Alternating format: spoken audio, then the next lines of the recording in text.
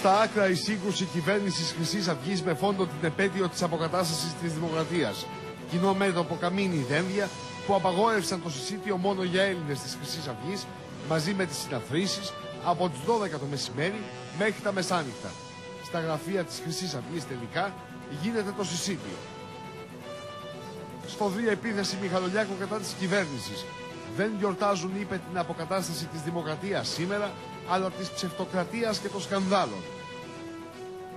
Στην πρώτη σελίδα της γερμανικής Bild ο Αντώνης Ρέμος με τον τίτλο Ο τραγουδιστής που χλέβασε τον Σόιμπλε.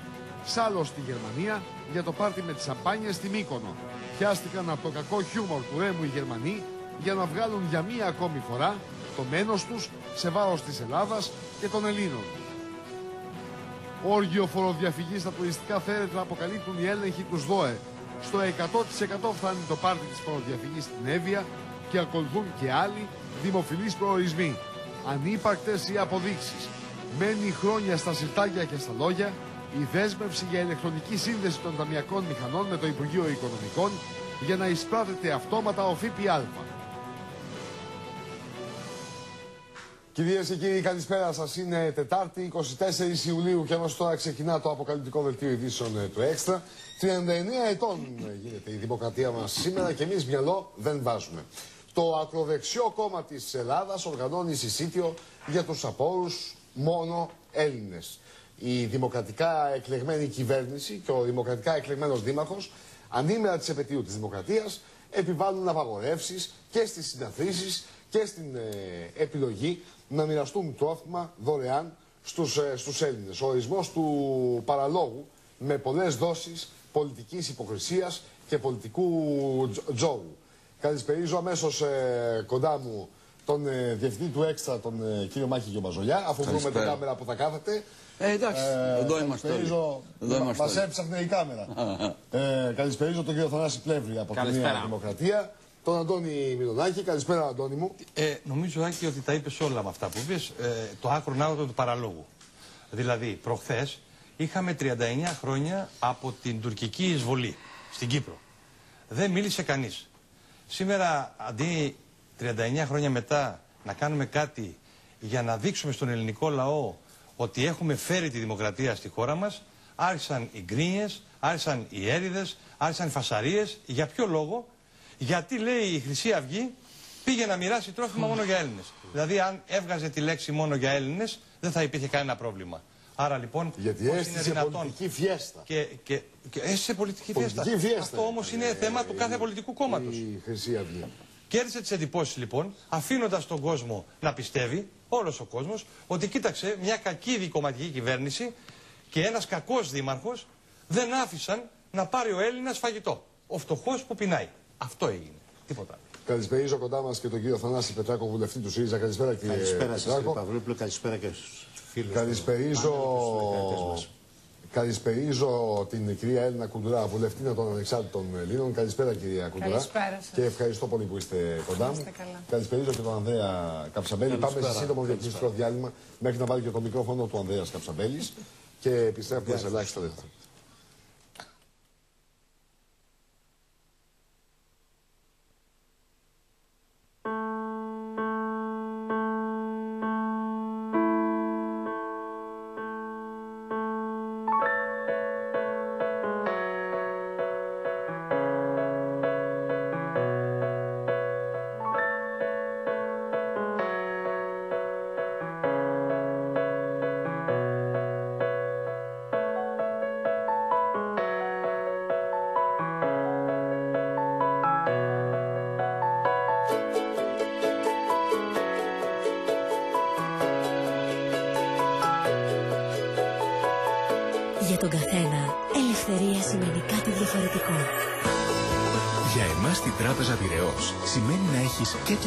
Το κεφάλαιο σου ελεύθερο και υψηλές αποδόσεις. Γι' αυτό δημιουργήσαμε την προθεσμιακή κατάθεση Απόδοση και Ελευθερία που σου προσφέρει τη δυνατότητα να έχεις το κεφάλαιο σου διαθέσιμο, αυξανόμενο επιτόκιο και μηνιαία απόδοση τόκων.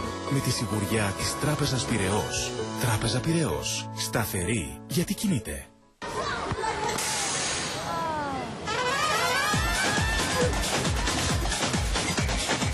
Δύσκολοι λεκέδες. Νέος βελτιωμένος σκυπ με τεχνολογία Wash Boosters. Ακόμα και στο σύντομο πρόγραμμα καθαρίζει δύσκολους λεκέδες για τέλεια αποτελέσματα σε κάθε πλήση. Νέος σκυπ καθαρίζει δύσκολους λεκέδες ακόμα και στο σύντομο πρόγραμμα. Δροσερές γεύσεις φρούτων, φύλλα τσαγιού και μέλι. Lipton Ice Tea με μέλι. Απόλαυσε την υπέροχη γεύση του εύκολα όπου και αν βρίσκεσαι. Το απολαυστικό κρύο τσάι που έχεις πάντα μαζί σου. Μόνο πέντε θερμίδες στο ποτήρι. Θα το βρεις και στα περίπτερα. Μια απλή οδοντόκρεμα έχει μόνο τέσσερις δράσεις. Η AIM Expert Protection παρέχει κορυφαία προστασία με 10 σημεία δράσης. Νέα AIM Expert Protection.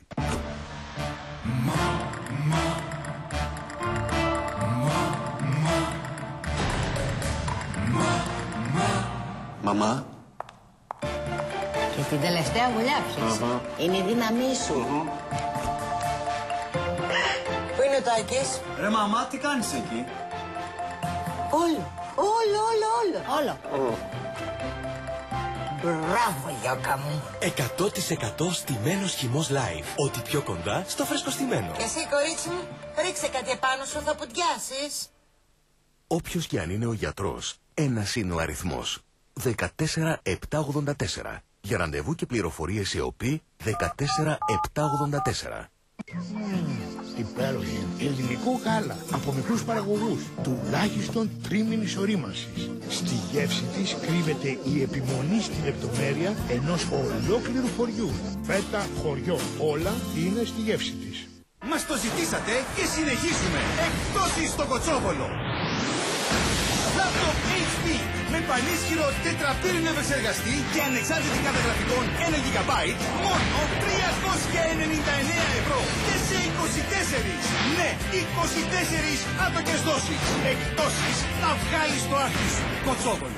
Καλέργης, γερά, αντισυσμικά, ενεργειακά σπίτια. Με κολόνες και δοκάρια από μπετό μπλοκ με βάση τους ευρωκώδικες προκατασκευής. Ξεχάστε τη συμβατική δόμηση. Κερδίστε χρόνο και χρήμα στον Καλέργη. Εξωτερική μόνωση για εξοικονόμηση ενέργειας. Πιστοποίηση ποιότητα Άιζο χωρίς ΙΚΑ. Παράδοση 3 μήνες. Καλέργης, 50 χρόνια γνώσης χτίζουν την εμπιστοσύνη σας. Πριν χτίσεις, τον Καλέργη να ρωτήσεις. 22 960 82 100. Ούζο Ντάρτεμις Black. 100% η καρδιά του αποστάγματος από τη δεύτερη απόσταξη. Οι άριστες πρώτες ύλες και η μυστική συνταγή το κάνουν μοναδικό. Απολαύστε το μαύρο ούζο. Με πιστοποιημένη ποσότητα, αριθμημένο φιαλό.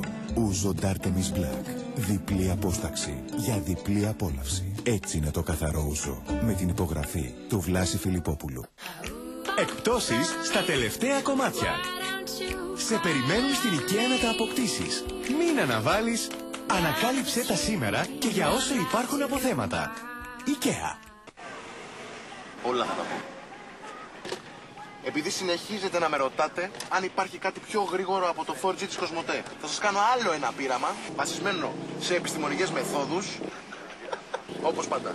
Είμαστε εδώ με τον Μπίλι στο τιμόνι και πάμε σε ένα τυροπιτάδικο σκαρκοκονδύλι που μας είπαν ότι μετράει. Γράφω εδώ τη διεύθυνση. Υψηλονίδα. Υψηλο. Και... Παπ. Φαπ και τον βρήκε. Δυόμιση δεύτερα. Να δούμε τώρα τι θα γίνει όταν ανάψει το φανάρι. Δεν ξέρω. Έλα. Ένα. Αν λοιπόν υπάρχει κάτι που είναι πιο γρήγορο από το 4G της Κοσμοτέ, αυτό ίσως να είναι η Ελληνίδα κόρνα. Καλά, ρε Θα σου πάρω την ρόπιτα. 4G από την Κοσμοτέ.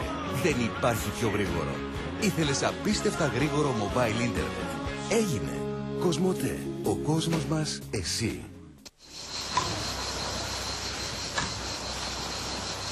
Φέτος απολαύστε ξέγνιαστες διακοπές με την Anytime. Ασφαλίστε τώρα το αυτοκίνητό σας online με 15% έκπτωση στα ασφάλιστρα. Η προσφορά ισχύει μέχρι τέλος Ιουλίου. Anytime με την εγγύηση της Interamerica. Ζήσε απλά. Επιστρέφουμε και για να ξεκινήσουμε την, ε, την κουβέντα με τα όσα συνέβησαν ε, σήμερα πάμε να δούμε το βίντεο με την ε, πολιτική αντιπαράθεση και τη θύελα που ξεσήκωσε από τη μία η πολιτική φιέστα της Χρυσής Αυγής για το συσίτιο στους απόλους ανήμερα της επαιτίου για την αποκατάσταση της δημοκρατίας και από την άλλη η απαγόρευση της, ε, του κυρίου Καμίνη και του κυρίου Δένδια σε συναθρήσεις και στο συσίτιο.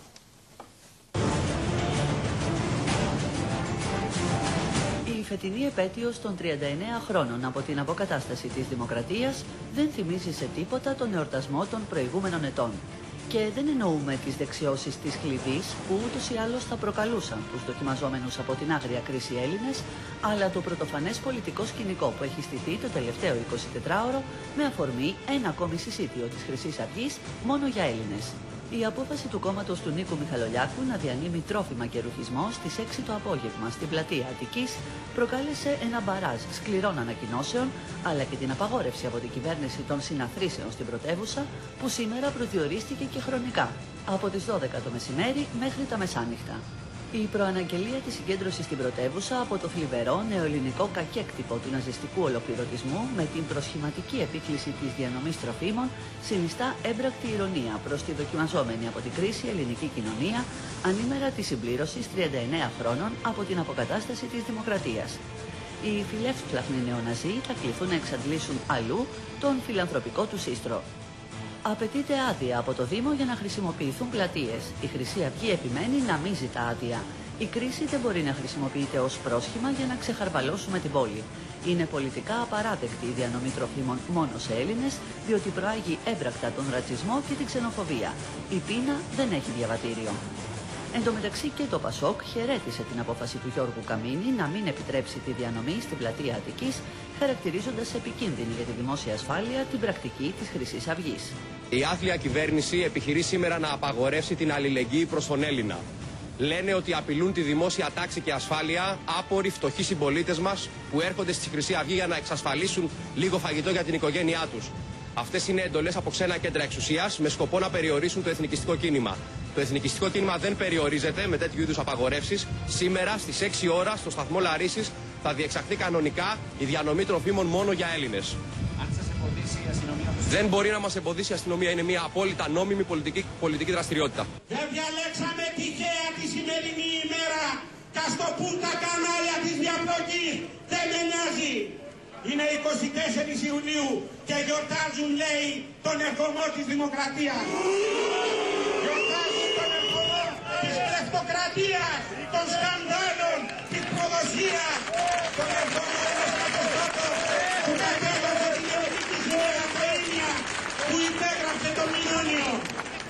Η σημερινή σας παρουσία εδώ είναι ένα χαστούκι στα μούτρα αυτών που έκαναν την απαγόρευση. Τελικά η Χρυσή Αυγή αποφάσισε να μεταφέρει το συσίτιο στα γραφεία της στην οδό Δελιγιάννη, που όπως βλέπετε και στις εικόνες, από νωρίς το απόγευμα πολίτες άρχισαν να σειραίουν κατά εκατοντάδες. Πάμε, πάμε στο Μάκη και Παζολιά. Μάκη.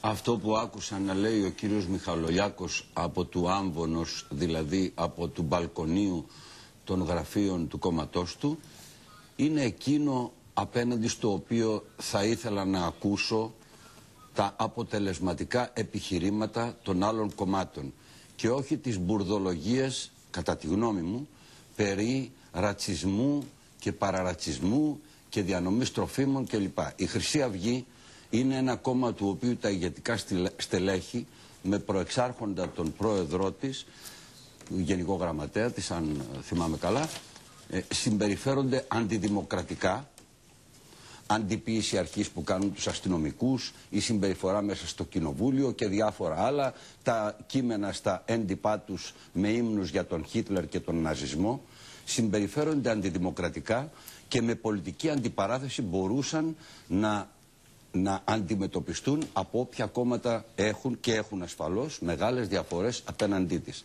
Οι απόψεις ότι όταν θέλει ένας, είτε είναι κόμμα, είτε είναι άτομο, να χαρίσει κάτι σε κάποιους, είναι ρατσιστικό αν το χαρίζει σε αυτούς και όχι σε εκείνους, δεν αντέχουν ούτε σε νομική επιχειρηματολογία, ούτε σε πολιτική σοβαρότητα.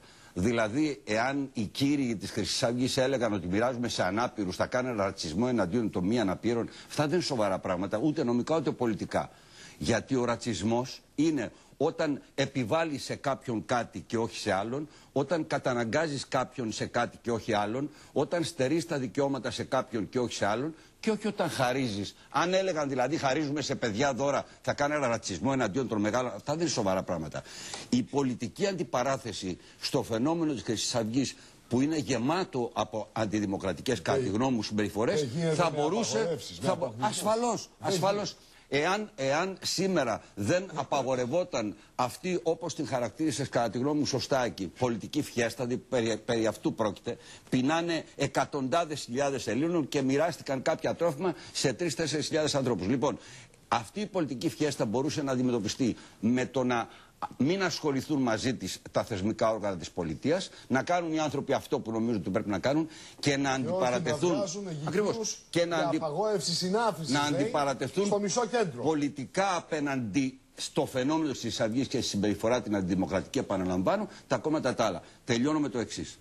Εκείνο που θα με ενδιέφερε εμένα ως ένα εκ των πολιτών, βγάλε εμένα από, από μέσα και σένα. Απέναντι στους πολίτες που χυμάζονται και πράγματι δεν έχουν να περάσουν το μήνα τους, είναι να πει κάποιος και στη Χρυσή Αυγή αλλά και στα άλλα κόμματα να παρετηθούν των επιχορηγήσ- επιχορηγήσεων των κρατικών εκατομμυρίων ευρώ που παίρνουν κάθε χρόνο από το κράτος, το οποίο κράτος πληρώνουμε όλοι όσοι το πληρώνουμε, και να μαζεύουν χρήματα από τα μέλη τους και από τους βουλευτές τους αν θέλουν να κάνουν συσίτια ή αν θέλουν να διατηρούν πολυόροφα κτίρια ή αν θέλουν οτιδήποτε άλλο εκλογικές παράτες να κάνουν. Όχι με χρήματα από τις κρατικές επιχορηγήσεις ή μεν να κάνουν συσίτια ή δε να τους λένε ότι αυτό είναι Πάμε και ρατσισμός. στον Ανδρέα Καψαβέλη. Ανδρέα. Κοίτα, Άκη, στην πολιτική έχουμε μάθει να λέμε και έτσι είναι ότι μετράει το αποτέλεσμα. Και όποιος θέλει να είναι ψύχρεμος, όποια ιδεολογική και πολιτική καταβολή και καταγωγή και αν έχει, οφείλει να πει ότι το σημερινό αποτέλεσμα ευνοεί, ευνόησε τη Χρυσή Αυγή. Ε, βέβαια. Α, ενδεχομένως αυτό πρέπει να προβληματίσει, γιατί συμφωνώ σε πολλά από αυτά που είπε ο Μάκης, ε, πρέπει να προβληματίσει εκείνες τις δυνάμεις του λεγόμενου συνταγματικού τόξου, ούτως ώστε να μην κάνουν άλλες κινήσεις, γιατί ήδη αρκεί η βαθιά οικονομική και κοινωνική κρίση για να ενισχύουν τη Χρυσή Αυγή. Και σε κάθε περίπτωση νομίζω ότι πρέπει να ξαναπούμε όλοι το αυτονόητο ότι η δημοκρατία, η οποία περνάει και αυτή την κρίση της, δεν επιβιώνει με απαγορεύσεις. Δεν μπορεί στο όνομα κανενός, ας το πούμε ιδανικού, καμιάς αντίληψης, να λέμε ότι με απαγορεύσεις συναθρήσεων εν καιρό δημοκρατίας θα προστατεύσουμε τη Βγήκε ο δημοκρατία. κύριος Βορύδης σήμερα, ο κοινοβουλευτικός εκπρόσωπος της Νέας ε, Δημοκρατίας και πήρε ξεκάθαρες αποστάσεις από την, ε, από την επιλογή της ε, διαταγής που έβγαλε η Γενική Αστυνομική Διεύθυνση προφανώς με εντολή του, της πολιτικής ηγεσίας του Υπουργείου. της κυβέρνησης, απόφαση Έτσι, της της κυβέρνησης κυβέρνησης είναι αυτό, αλλά- και για τη συνάθηση Ε, εγώ το και λέω- για το, συζήτη- το συσίτιο. Έγινε μεγάλο ζήτημα. Α, και μεγάλο έχεις πολιτικό δίκιο, ζήτημα. αλλά το συσίτιο. επειδή θ- θέλω να προσθέσω μια διάσταση σε αυτά Για που... ποιο λόγο, για την προστασία λέει της δημοκρατίας. αυτό- Γι' αυτό είπα ο αυτό χορός του, θέτω παραλόγου, του εγώ. παραλόγου με μπόλικη δόση πολιτικής υποκρισίας και Εγώ, τζόγου. εγώ θα έλεγα, δεν ξέρω αν ήταν υποκρισία και τζόγος ή αν είναι μια μηχανία, είναι μια δυσκολία της, ε, των αρμοδίων της κυβέρνησης, δεν ξέρω αν ήταν κεντρική απόφαση του Υπουργείου Δημόσιας Τάξης. Υπάρχει, θεωρώ, μια μηχανία και μια λάθος προσέγγιση στο πώς θα αντιμετωπιστεί το φαινόμενο της Ορίστε Χρυσής κύριε Πρέβη, Αυγής. σας βλέπω ότι θέλετε να παρέμβετε αμέσως ο Ντόνι. Άκουσα δεν γίνεται. Ε, το θέμα έχει διάφορες διαστάσεις. Άκουσα στο Sky πριν από λίγο τον κύριο Καμίνη να ξεκινάει Ναι. και να παίρνει λέει την απόσταση γιατί το συσίτιο είναι μόνο για Έλληνες. Ε, μια μεγάλη ανοησία του κυρίου Καμίνη που μας έχει συνηθίσει να ακούμε διάφορα τέτοια πράγματα. Όταν δηλαδή μαζεύονται ΜΚΟ. Δεν είπε μόνο αυτό. Ναι, εγώ Μην λέω είστε για αυτό. Μη- άδικος. ε, μη- ε, δεν- Είπε ότι έπρεπε να πάρουν άδεια από το Δήμο. Ακούσα οποίο αυτό το που αμφισβητεί η σχολιάζω. Χρυσή Αυγή, Εγώ εντάξει. λέω, εγώ λέω ξεκινώ καταρχήν και λέει συνταγματική απαγόρευση γιατί ε, δίνει μόνος σε Έλληνες. Όταν οι μη κυβερνητικές οργανώσεις μαζεύουν τρόφιμα για τα παιδιά της Αφρικής. Δηλαδή πρέπει να σηκωθούν οι άλλοι και να πούνε γιατί τρόφιμα για τα παιδιά της Αφρικής. Άρα διαφωνείτε κύριε Πλεύρη με την, Είναι- ε, είναι- με την απαγόρευση. Ε, θα σας πω, καταρχήν, ο κύριος Καμίνης δεν μπορώ να καταλάβω, μάλλον για προσωπική του ε, προβολή έχει δεν το έκανε επιδιώξει. μόνος του Θα ο σας κύριος πω, θα, θα έρθω και στο κύριο Δενέ, μην φοβάσαι, όλα θα μπάτσω. Επιδιώκει να κλιμακώνει μια κόντρα με την ε, Χρυσή Αυγή. Εγώ δεν μπορώ να καταλάβω γιατί πρέπει να απαγορεύεται το συσίτιο και συσίτιο μόνο για Έλληνες. Και καλώς κατά την άποψή μου λένε ότι θέλουν να κάνουν συσίτιο μόνο για τους Έλληνες και δεν μπορεί κανένας να τους το απαγορεύσει αυτό. Αντίστοιχα, να βρίσκει κάτι διατάξεις όταν από την αριστερά καταλαμβάνονται καθημερινά πλατείες και δρόμοι Εκεί πέρα δεν βλέπω την ευαισθησία του κυρίου Καμίνη να έρθει να πει ότι στο Σύνταγμα πρέπει να έχετε άδεια ή στην τάδε πλατεία πρέπει να έχετε άδεια. Άδεια απαιτείται μόνο άμα είναι να γίνουν εκδηλώσεις, να θέλει δηλαδή κάποιος να πάρει την πλατεία για να κάνει μια εκδήλωση. Προφανώς άδεια δεν απαιτείται για μια κύριος ολί, Δένδιας ολίωρη. γιατί το υιοθέτησε Ερχόμαστε. αυτό. Εγώ να πω την αλήθεια, ενώ ε, πάντοτε έχω υποστηρίξει τις επιλογές του κ. Δένια και θεωρώ ότι στο κομμάτι της δημόσιας τάξης είναι από τους υπουργούς που έχει πάει καλά, οφείλω να πω ότι ε, με ξένησε η συγκεκριμένη απόφασή του. Και με, βέβαια είναι η απόφαση της αστυνομικής διεύθυνσης. Εγώ δεν μπορώ να καταλάβω. γιατί κοιτάξτε, γίνεται. Θα σας πω, θα σας πω, ναι, καθαρά μιλάμε. Καθαρά, προφανώς. Άκουσε γιατί το Σύνταγμα βάζει κάποιους όρους όταν κινδυνεύει κοινωνικο-οικονομική ζωή να μπορούν να απαγορευτούν οι συναθρήσεις. Ναι, ναι. Εγώ ειλικρινά σας το λέω τώρα και σαν νομικός αλλά και πολιτικά δεν μπορώ να καταλάβω ποιος ήταν ο, κοινωνικο-οικονομικός εκείνο κίνδυνο. Για τη δημόσια Από εκεί και πέρα ασφάλεια. ακούστε και κάτι. πιο πριν, και κύριε κάτι Πλεύρη. θα- να, να σα πω και κάτι να ολοκληρώσω. Είχε Όπως πορεία το διαφωνώ για μένα, αυτό άκουσα και τον κύριο. Ε, Για Μπαζολιά. για Μπαζολιά και τον κύριο Καψαμπέλη. Ακόμα και σε αυτό το οποίο λέγεται το δημοκρατικό τόξο. Με συγχωρείτε συνταγματικό και αυτό εγώ- τόξο, ναι, και εγώ όχι, δεν το με συγχωρείτε, αυτό καταλαβαίνω. δεν το καταλαβαίνω. Κανένα δεν το Εγώ καταλαβαίνω. θεωρώ. Ακούσατε ότι τέτοιο και- όρο όχι, από μένα. α, από τον κύριο Καψαμπέλη. Εγώ θεωρώ ότι και η Χρυσή Αυγή προφανέστατα αντιμετωπίζεται Ναι. διαφορετικά από κάθε κόμμα αναλόγως με τις ιδεολογικές προσεγγίσεις. Με συγχωρείτε, εγώ δεν μπορώ να καταλάβω πώς φαντάζεται κάποιος ότι η Νέα Δημοκρατία μπορεί να έχει κοινή γραμμή με το ΚΚΕ ή με το ΣΥΡΙΖΑ να σας στην απαντήσω αντιμετώπιση σε της αυτό. Χρυσής Αυγής. Ε, επειδή- Συνταγματικό Ανδρέα, πριν τόξο απαντήσεις, ορίζεται δεν από έχουν τους μιλήσει οι πολίτες. υπόλοιποι. Από εκεί και Θα πέρα έρθω, οι θα έρθω. ιδεολογικές διαφορές υπάρχουν και σε αυτές τις ιδεολογικές διαφορές θα αντιπαραταθούμε. Σε αυτό που Παρακαλώ. είπε μία φράση μόνο. Πες τη. Θα πω μόνο ότι η απάντηση ενδεχομένως δόθηκε από τον κύριο Μιχαλολιάκο, ο οποίος αφισβήτησε το ότι από το 1974 μέχρι σήμερα έχουμε Ωραία, και το, δημοκρατία. και το Κομμουνιστικό Κόμμα αμφισβητεί την Κύριε αστική Πλεύρη, δημοκρατία. Λέει η προφανώς, αστική σας δημοκρατία. προφανώς, αλλά αποδέχεται Ότι του- το Σύνταγμα που εμείς δεν αναγνωρίζουμε. Τι να πει Καταλάβατε, αυτό; καταλάβατε το πολιτικό σκεπτικό της διαφοροποίησης. Πάμε- Είπα, πάμε παρά, να τα προχωρήσουμε, αυτά, παρακαλώ. παρά τα αυτά δεν μπορεί κανείς να απαγορεύσει. Πάμε παρακαλώ, δεν έχω ακούσει τα σχόλια των, των υπολείπων. Ορίστε Αντώνη. Εγώ αυτό που έχω να πω είναι το εξής. Ο κόσμος περνάει μια μεγάλη φτώχεια. Ο, το τσάκισμα και η φτωχοποίηση του Έλληνα είναι γεγονός. Και αντί να βάλουν τα πράγματα κάτω, να πούν έχει δημοκρατία. Μάλιστα, έχουμε δημοκρατία. Βεβαίως και έχουμε δημοκρατία. Δεν κινδυνεύει η δημοκρατία από μια συνάθρηση ενός πολιτικού κόμματος, συνταγματικού κόμματος, διότι ορκίστηκε στο Σύνταγμα, διότι είναι μες στη Βουλή. Αν δεν είναι μες στη Βουλή, αν δεν είναι μέσα στο συνταγματικό τόξο, να αποβληθεί και από τη Βουλή. Αυτό είναι το ένα. Ο κόσμος λοιπόν, επειδή μας παίρνουν συνέχεια τηλέφωνο και μιλάνε και με αυτό το πνεύμα μιλάω και Ναι, εγώ. πάντως, Αντώνη μου, επειδή είναι αυτό στη το Βουλή, πνεύμα. όπως λες, Ναι. ε, καλό θα είναι, αφού είναι μέσα στη Βουλή και ή- μπήκε στη Βουλή μέσω της διαδικασίας των εκλογών, Νόμιμα.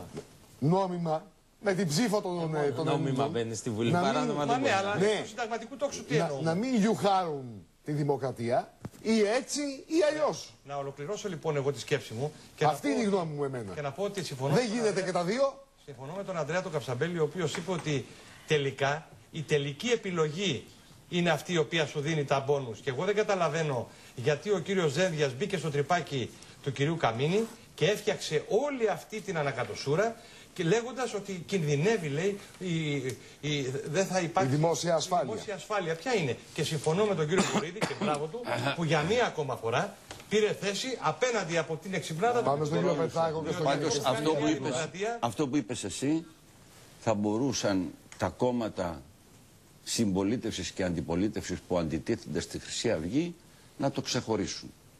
Να αφήσουν να μοιράζει τα τρόφιμα που νομίζω ότι πρέπει να μοιράσει σε όποιους πρέπει να τα μοιράσει και να Εγώ προβάλλουν. Σας παρακαλώ. Μια φορά διαφωνώ Σας στην καταγραφή παρακαλώ. των στοιχείων Σας που γίνονται. παρακαλώ. Και να προβάλλουν το ου στη δημοκρατία. Αυτό είναι το θέμα για τη Χρυσή Μα Αυγή. έδωσαν από την άλλη πλευρά μάκη μου λαβή στον κύριο Μιχαλολιάκο να πει αυτή είναι η δημοκρατία. Δηλαδή ο τους. κόσμος τι- Όταν λέει Άκη, θέλω με να δώσω συγχωρείς, ο φαΐ κόσμος που στους- έκανε ου, το έκανε για τη Γιατί δημοκρατία. Είπε κάτι ο Μάκης ο Δεν το έκανε Γεωργιάδης. για τη δημοκρατία. Θα Αυτό επιβάλλω δεν εγώ σε Το ποιον... ου το έκανε για τη Θα- δημοκρατία. Για Όχι, τη δηλαδή δημοκρατία. όλοι- όλοι που ήταν εκεί κύριε- μαζεμένοι, κύριε οι Μινονάκη. 10.000 κόσμος, οι Αντώνη, 7.000, Ήταν 10.000, Αντώνη. οι αλλά, 7.000, αλλά οι 5.000. Το συνόψισε. Ήταν όλοι αντιδημοκράτες. Κύριε, Όχι, παρακαλώ. αλλά Το το ήταν συνόψισε ο κύριος συγκεκριμένα Γιομπαζολιάς. δημοκρατία. Το Πήγαινε πες συνό- στον κόσμο, Το Θανάση μου, συνόψισε ο Μάκης Γιομπαζολιάς. Δεν μπορώ να επιβάλλω στον Πλεύρη ή στο Μιλονάκι Ε, που θα Πού θα χαρίσει χαρίσει. αυτό που θέλει να δεν χαρίσει. είναι Δεν νομικά γίνεται. και πολιτικά σοβαρά. Ορίστε, Μπορώ κύριε όμως να αντιπαρατεθώ Προφανώς. για το ου και για άλλους λόγους να το λέει όταν το λέει την ώρα που συζητάμε για την Να αποκατάσταση. πει λοιπόν ο της κύριος δημοκρατίας, Μιχαλολιάκος Έχω πρόβλημα μαζί του. για τα σκάνδαλα τα οποία καταγγέλει τα Βεβαίως. συστημικά κόμματα. Βεβαίως. Να πούν τα συστημικά κόμματα στον κύριο Μιχαλολιάκο πώς προσβάλλει και αμφισβητεί τη- και υπονομεύει τη δημοκρατία, αλλά σε πολιτικό επίπεδο. Αυτό λέω. Ορίστε κύριε Πετράκη. Λοιπόν, εδώ στο τέλος με τη συζήτηση πάμε να αγιοποιήσουμε τη Χρυσή Αυγή. Δεν το αισθάνομαι εγώ, το αισθανθήκατε εσείς αυτό; Ναι, το, το, βεβαίως το, το, Ποιος το την αισθάνομαι. αγιοποίησε τη Χρυσή Αυγή; Λοιπόν, ε, ο κύριος Πλεύρης καταρχάς. Ε, και την θα πω γιατί. αγιοποίησα. Ναι, ναι, θα, θα σας εξηγήσω. Ε, συγκρίνατε, συγκρίνατε Τις διαδηλώσεις το των- ΚΚΕ, Ναι. το οποίο αγωνίστηκε να τα στελέχη του και τα μέλη του στη δικτατορία μέσα από τις φυλακές και τα ξερονίσα, να πέσει στη δικτατορία με τη Χρυσή Αυγή, η οποία αμφισβητεί τον αγώνα του ελληνικού λαού ο- και, και τα εγκλήματα των, Δεν χου- συνέχεια. και τα εγκλήματα Άλλο των είναι. πολιτικών άνθρωποι με τα δεν οποία καταλάβα. συνέβα, Συγγνώμη, αυτοί οι έπεσε, άνθρωποι όλοι εκεί πέρα που έπεσε η ζητούν Χούντα. τα- Ένα το κρατούμενο. Εγώ είπα ότι αρνούνται την δε- αστική δημοκρατία και οι Δεύτερον, δύο. δεύτερον, δεν είναι, δεν, α, δεν είναι το ίδιο. Αυτό είπα. Λοιπόν, και αρνού- αρνούνται Την αστική δημοκρατία και οι δύο αρνούνται την την αρνούνται. αστική δημοκρατία, διότι θεωρούν ότι η, δημο, διότι η δημοκρατία, η προλεταριακή δημοκρατία κατά την κρίση τους είναι καλύτερη. Λοιπόν, όχι, κομμουνισμός όχι για να μένα ξαναγυρίσουμε, δεν διαφέρει όχι πολύ να από αυτό που ξαναγυρίσουμε, πρεσβεύει. όχι να ξαναγυρίσουμε στη Χούντα, να αγιοποιήσουμε τη Χούντα, διότι, για να είμαστε τώρα, να μην, ψηλιασμένοι είμαστε όλοι. Γιατί, ε, κάνω εγώ ένα ερώτημα, γιατί δεν επέλεξε η Χρυσή Αυγή χτες ή αύριο; Να, κα- να μοιράσει το τρόπο. Αυτό είπε μόνος του, κύριε. Επέλε... Έτσι, μπράβο. Επέλεξε την ημέρα, έτσι. Σου Της λέει, επαιτίου, εσείς της γιορτάζετε αποκατάστασης. την πτώση της Χούντας, εγώ επειδή είμαι με τη Χούντα, εγώ είμαι με τη Χούντα, είπε, Μάλιστα. και δεν, θέλω, και δεν θέλω να γιορτάσω αυτή τη μέρα, διότι αυτή η μέρα είναι πάρατος κατά τη Χρυσή Αυγή, η πτώση της Χούντας, της δικτατορίας. Λοιπόν, θέλω να σας, να ξεφτυλίσω αυτή την κατάσταση στη, πατώντας πάνω Άρα- στις μνημονιακές πολιτικές Άρα οι οποίες έχουν συμφωνείτε με την ισοπεδώσει, επιλογή- οι οποίες έχουν ισοπεδώσει Άρα τον συμφωνείτε με την ελληνικό... απαγόρευση καμίνη και δένδια.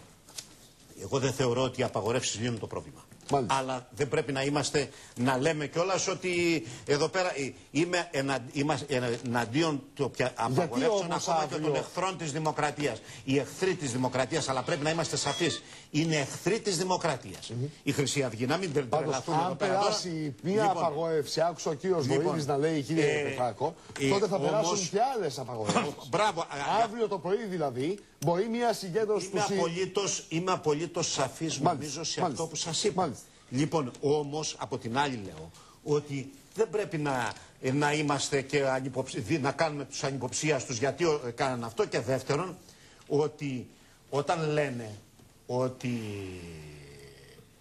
το, ε, έχει τα στοιχεία του ρατσισμού ε, όταν λες κάνω, το, κάνω συσίτιο μόνο για Έλληνες. Δηλαδή αν πάει, έχει το αν συσίτιο; πάει, σήμα, αν γιατί πάει, έχει εγώ σας λέω, πει τον ε, πού άνθρωπο το που ξέρουν. θέλει. Αν πάει κάποιος ο οποίος δεν είναι Έλληνας και του ζητήσει, και του ζητήσει ένα, μια τσάντα. Σου λέει πρώτα ο Έλληνας και μετά ο άλλος. Γιατί είναι κακό; Λοιπόν, Αυτό και ρατσιστικό να είναι, γιατί Λοιπόν, αφήσει είπα, τον άνθρωπο να ενέχει μιλήσει. το στοιχείο, ενέχει, τη γνώμη μου λέω. Λοιπόν, ενέχει το, το Ενέχει, στοιχείο. ενέχει, ε, βέβαια, ενέχει, ε, βέβαια, το- έχει μέσα. Το στοιχείο του ρατσισμού, αυτό το πράγμα. Δηλαδή μην, μην τρελαθούμε τώρα κιόλας. Λοιπόν, το καταλαβαίνουμε γιατί γίνεται αυτό το πράγμα και κυρίως, και κυρίως επαναλαμβάνω, εγώ θέλω να σταθώ στην ημέρα στην οποία επέλεξαν και να πω ότι επέλε, επιλέγει, επιλέχθηκε η συγκεκριμένη ημέρα για συγκεκριμένους Μα το πολύ είπε ο καλούς κύριος λόγους. Μιχαλολιάκος Έτσι, από μπράβο. το μπαλκόνι, Άρα κύριε- λοιπόν αυτό το κύριε πράγμα Πετράκη. λοιπόν εμείς Μάλιστα. δεν πρέπει να το υποβαθμίζουμε και αυτό κατά την γνώμη μου είναι το κύριο από την άλλη μεριά. Και, απο- και επίσης δεν, μπο- δεν μπορούμε να χρησιμοποιούμε την έκφραση μη συστημικό κόμμα. Μη συστημικό κόμμα είναι η Χρυσή Αυγή, η οποία όταν οι εργάτες στη Χαλιβουργία αγωνιζόταν 80 μέρες απεργία πήγε να σπάσει την απεργία μαζί με την αστυνομία. Αυτό είναι το μη συστημικό κόμμα. Το μη συστημικό κόμμα το οποίο έχει επιτεθεί σε κάθε αγωνιζόμενο απεργό είναι μη συστημικό Θέλω- κόμμα η Χρυσή Αυγή. θέλω ένα σχόλιο Είναι και από την κυρία πολύ Κουδουρά που δεν έχει συστημικό μιλήσει. κόμμα και είναι η εμπροστοφυλακή του, συ- του συστήματος απ- πατώντας πάνω στην, στη φτώχεια Μάλιστα. και στην ανέχεια του Μάλιστα. ελληνικού λαού που έχουν δημιουργήσει Πάμε- τα κόμματα τα μνημονιακά. Πάμε, πάμε και στην κυρία Κουντουρά να ακούσω το σχόλιο της, γιατί δεν έχει μιλήσει ακόμη. Ορίστε, κυρία Η Κουντουρά. Χρυσή Αυγή έχει δημιουργηθεί από την αποτυχημένη οικονομική πολιτική των τελευταίων κυβερνήσεων. Το πρόβλημα δεν είναι η Χρυσή Αυγή. Το πρόβλημα είναι το χρέος. Είναι η φτώχεια και η οργή του ελληνικού λαού. οι αποτυχημένες επίσης και ανίκανες ε, διαχρονικά κυβερνήσεις να αντιμετωπίσουν το πρόβλημα της λαθρομετανάστευσης. Έρχονται λοιπόν σήμερα και λένε ε, για λόγους δημόσιας ασφάλειας απαγορεύουμε τις συναθρήσεις. Σήμερα το πρωί μιλούσαν οι κάτοικοι ε, που είναι στο μουσείο για τα ναρκωτικά και για τους αλλοδαπούς Αφγανούς που παλεύουν με μαχαίρια και ξύφη Ναι, ναι. Που αφοδεύουν και ουρούν ε, στους δρόμους, που πλένονται με το νερό, που σηκώνουν τα καπάκια από τις πολυκατοικίες, που κοιμούνται κατά χιλιάδες και τρυπιούνται με σύριγγες και απε- απειλούν τους περαστικούς ότι θα τους τρυπήσουν με Αυτό τη είναι σύριγγα. πρόβλημα, λοιπόν. Αυτό, Αυτό είναι το πρόβλημα το- και οι λόγοι ασφαλείας που θα έπρεπε να επικαλεστεί ο εκάστοτε υπουργός να προστατεύσει τους Έλληνες και όλους τους νόμιμους αν θέλετε που ζουν σε αυτή την ε, πρωτεύουσα και να μην βλέπουμε αυτές τις εικόνες απελπισίας στην πρωτεύουσα από ναρκωτικά ή αν θέλετε από εγκληματικότητα η οποία πλέον έχει ξεφύγει. Και επειδή σήμερα μιλάμε για την επέτειο για την αποκατάσταση της δημοκρατίας και τα 39 χρόνια θέλω να σας πω ότι αυτή τη στιγμή η συγκυβέρνηση περιφρονεί το Σύνταγμα με πράξεις νομοθετικού περιεχομένου. Μην μου το ανοίγετε αυτό ακόμα. Τελειώνω. Κάνει παρεμβάσεις Χειρότερα στον από πράξη κανονισμό νομοθετικού της περιεχομένου. Βουλής Πράξη Υπουργικού Συμβουλίου είχαμε σήμερα. κύριε Κούντουρα. αυταρχικές, άδικες και ό,τι και να σας πω πολιτικές τις οποίες εάν αυτές είναι δημοκρατία από τη συγκεκριμένη συγκυβέρνηση τότε εδώ κάτι άλλο συμβαίνει. Μάλιστα. Κρατάω το σχόλιο σας γιατί θα αποτελέσει αφορμή για τη συζήτηση στο δεύτερο μέρος της ε, ε, της, ε, της εκπομπής του, του δελτίου. Πάμε στη τηλεφωνική μας ε, γραμμή γιατί είναι ο εκπρόσωπος της Χρυσής Αυγής, ο κ. Χαστιδιάρης και βουλευτής του κόμματος. Καλησπέρα, κύριε Χαστιδιάρη. Καλησπέρα σας και καταρχήν θα ήθελα να διορθώσω δύο τεράστια ψεύδη τα οποία ακούστηκαν προηγουμένως. Το πρώτο έχει να κάνει με την τοποθέτηση του βουλευτή του ΣΥΡΙΖΑ σχετικά με την απεργία των χαλιβουργών. Εμείς ήμασταν στο πλευρό των Ελλήνων χαλιβουργών. Υπάρχει σχετικό υλικό τηλεοπτικό στο διαδίκτυο, μπορεί να το αναζητήσει κανείς γράφοντας η Χρυσή Αυγή στο πλευρό των χαλιβουργών. Τους πήγαμε τρόφιμα, τους συμπαρασταθήκαμε. Έτυχε να είμαι εγώ ο μιλητής και καταχειροκροτήθηκε από τους εργαζομένους η αντιπροσωπεία της Χρυσής Αυγής. Διορθώνω λοιπόν το πρώτο λάθος και πάω στο δεύτερο. Μιλήσατε κύριε Παυλόπουλε για πολιτική φιέστα. Την πολιτική φιέστα την έκανε ο κύριος Δένδιας και ο κύριος Καμίνης. Εάν δεν υπήρχε η παρέμβασή τους, ξέρετε πολύ καλά ότι κάνουμε, έχουμε κάνει δεκάδες τέτοιου είδους δράσεις κοινωνικής αλληλεγγύης τον τελευταίο χρόνο. Δεν καλέσαμε ποτέ κανάλια. Το κάναμε για να βοηθήσουμε τους πολίτες. Ρωτήστε και τους ανθρώπους του συνεργείου που αποστήλατε. Ναι, αλλά είπε Που ήρθαν, άλλο ζήτησαν πράγμα ο άδεια κ. και τους είπα Μιχαλολιάκος. εφόσον είσαι από το έξτρα μπορείτε να έχετε αυτά τα πλάνα. Τους άλλους τους βάλαμε σε μία αγωνία. Ο κύριος, Διότι εμείς ε, δεν ο κάνουμε κύριος τέτοιου είδους Μιχαλολιάκος. γεγονότα, τέτοιου είδους δράσεις για να τις προβάλλουμε. Σκοπός είναι η αλληλεγγύη στον Έλληνα συμπολίτη μας. Ωραία. Και θα καταλαβαίνατε αυτά που σας λέω εάν ήσασταν μαζί μου 3-4 ώρες κάτω από 40 βαθμούς στο πλευρό αυτών των ανθρώπων που είναι άνθρωποι αξιοπρεπέστατοι, αυτοί οι οποίοι έρχονται στα σύνδια της Χρυσής Αυγής. Δεν αμφισβητεί κανείς την αξιοπρέπεια των ανθρώπων που έρχονται εκεί, κύριε. Είναι Η κρίση αξιοπρεπέστατοι τους και η φέρνει, τους φέρνει πλειοψηφία όσων εκεί. ήρθαν σήμερα δεν ήρθαν για τα τρόφιμα, σας πληροφορώ. Ήρθαν για να εκφράσουν την αλληλεγγύη τους και να πούν ότι δεν υπάρχουν απαγορεύσεις. Ότι η Χρυσή Αυγή θα προχωρήσει μπροστά Αυτό και που οι λέτε Έλληνε πολίτες όμως- είναι αυτοί που θα τη στηρίξουν. Αυτό που λέτε όμως αντίκειται ή ακυρώνει αυτό που είπατε ένα λεπτό πριν, δευτερόλεπτα πριν. Τι εννοείτε; Ότι δεν ήταν πολιτική εκδήλωση, ήταν συσίτιο αλληλεγγύης. Δεν θα γινόταν απολύτως καμία προβολή της εκδήλωσης εάν δεν έβγαζαν την απαγόρευση. Αυτό δεν το αμφισβητεί κανείς. Έχουμε κάνει επανειλημμένως δεκάδες φορές τέτοιες εκδηλώσεις σε όλη την Ελλάδα, σε όλες τις μεγάλες πόλεις της χώρας. Όλα αυτά έγιναν επειδή αντέδρασαν με αυτόν τον απαράδεκτο και αντισυνταγματικό τρόπο ο κύριος Καμίνης, ο κύριος Δένδιας και βεβαίως όλα αυτά έγιναν ε, επειδή υπήρχε πολιτική κάλυψη του κυρίου Δένδια. Υπήρχε πολιτική κάλυψη από τον κύριο Σαμαρά. Τυχαία επελέγει η σημερινή ημέρα, κύριε Καστιδιάρη; Η σημερινή μέρα δεν είναι μία ημέρα. Ανάλογες δράσεις έχουν γίνει δεκάδες φορές. Γιατί ο κύριος Μιχαλολιάκος είπε ότι δεν είχαμε επιλέξαμε και εμείς το τυχαία την δικαίωμα μέρα. και να μιλήσουμε και να περάσουμε το πολιτικό μας μήνυμα. Που είναι το εξής. Το καθεστώς το οποίο βιώνουμε σήμερα δεν είναι καθεστώς δημοκρατικό, είναι καθεστώς κλεπτοκρατικό. Θυμάστε πολύ καλά, κύριε Παυλόπουλε, την περασμένη εβδομάδα κάναμε μία αποκάλυψη για το αφορολόγητο των βουλευτών και φέραμε μία τροπολογία προς ψήφιση, η οποία έλεγε ότι οι βουλευτές πρέπει να φορολογούνται από το πρώτο ευρώ όπως κάθε πολίτης. Την είδατε πουθενά να έχετε αυτή η τροπολογία στην Ολομέλεια; Την πέταξε στα σκουπίδια ο κύριος Τουρνάρας. Αλλά αυτή την αποκάλυψη δεν την έδειξε κανένα κανάλι, μόνο το δικό σας δελτίο. Αυτό τα λέει όλα. Αυτό σημαίνει ότι το σημερινό καθεστώς σε καμία περίπτωση δεν πρέπει να αποκαλείται δημοκρατία, αλλά κλεπτοκρατία. Ευχαριστώ πολύ για την Να είστε παρέμβαση, καλά. κύριε Καστιδιάρη. Πάμε σε σύντομο διαφημιστικό διάλειμμα. Θα επιστρέψουμε για να πάρουμε αφορμή για τη συζήτηση με τις εξελίξεις και στην οικονομία και στις απολύσεις και, στην, ε, και στα όσα ε, μας παραγγέλνει ο Σόιμπλε για να μας δώσει την, ε, τη δόση με αφορμή αυτό που είπε η κυρία Κουντουρά κλείνοντας το σχόλιο της.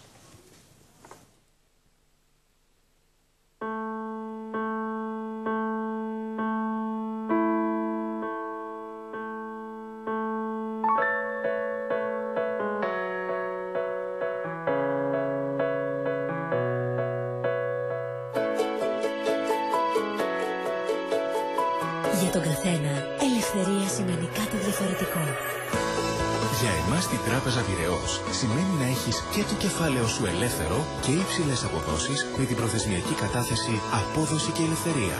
Με τη σιγουριά της Τράπεζας Πυραιός. Τράπεζα Πυραιός. Σταθερή γιατί κινείται. Όλα θα τα πω. Επειδή συνεχίζετε να με ρωτάτε αν υπάρχει κάτι πιο γρήγορο από το 4G της Κοσμοτέ, θα σας κάνω άλλο ένα πείραμα βασισμένο σε επιστημονικές μεθόδους όπως πάντα. Είμαστε εδώ με τον Μπίλι στο τιμόνι και πάμε σε ένα τυροπιτάδικο σκαρκοκονδύλι που μας είπαν ότι μετράει. Γράφω εδώ τη διεύθυνση. Υψηλό Υψηλό. Και... Παπ. Ένα. Δύο. Φαπ. Και τον βρήκε. Δυόμιση δεύτερα. Να δούμε τώρα τι θα γίνει όταν ανάψει το φανάρι. Δεν ξέρω. Έλα. Ένα. Αν λοιπόν υπάρχει κάτι που είναι πιο γρήγορο από το 4G της Κοσμοτέ, αυτό ίσως να είναι η Ελληνίδα κόρνα. Καλά, ρε Θα σου πάρω την ρόπιτα. 4G από την Κοσμοτέ. Δεν υπάρχει πιο γρήγορο. Ήθελες απίστευτα γρήγορο mobile internet. Έγινε.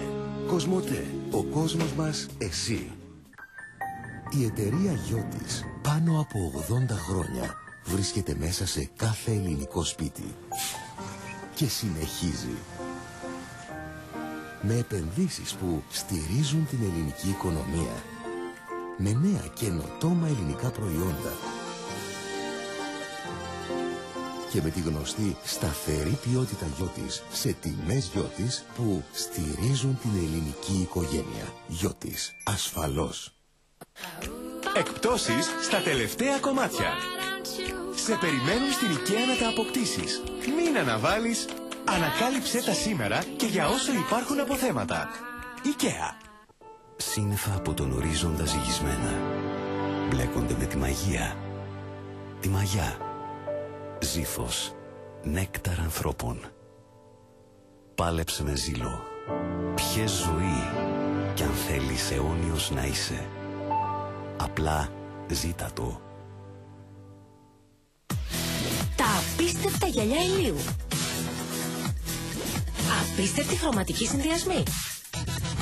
Απίστευτη ελαστικότητα. Απίστευτο βάρος. Incredible. Γυαλιά ηλίου και οράσεως. Οπτικά αράθιμος. Έχετε πρόβλημα δυσκολιότητας και ενώ τρώτε φρούτα, γιαούρτι, δημητριακά και πίνετε νερό, δεν βλέπετε αποτέλεσμα. Dulcolax. Πάντα στην ώρα του. Κοιμηθείτε ήσυχα και ξεκινήστε τη μέρα σας με καλή διάθεση. Dulcolax.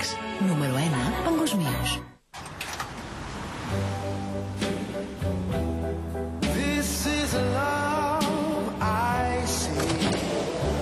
Ερωτευμένο με την οικονομία. Έως 1470 χιλιόμετρα με ένα μόνο γέμισμα. Νέο Citroën C3 Diesel πεντάφυρο με 11.290 ευρώ. Το diesel της καρδιάς σας.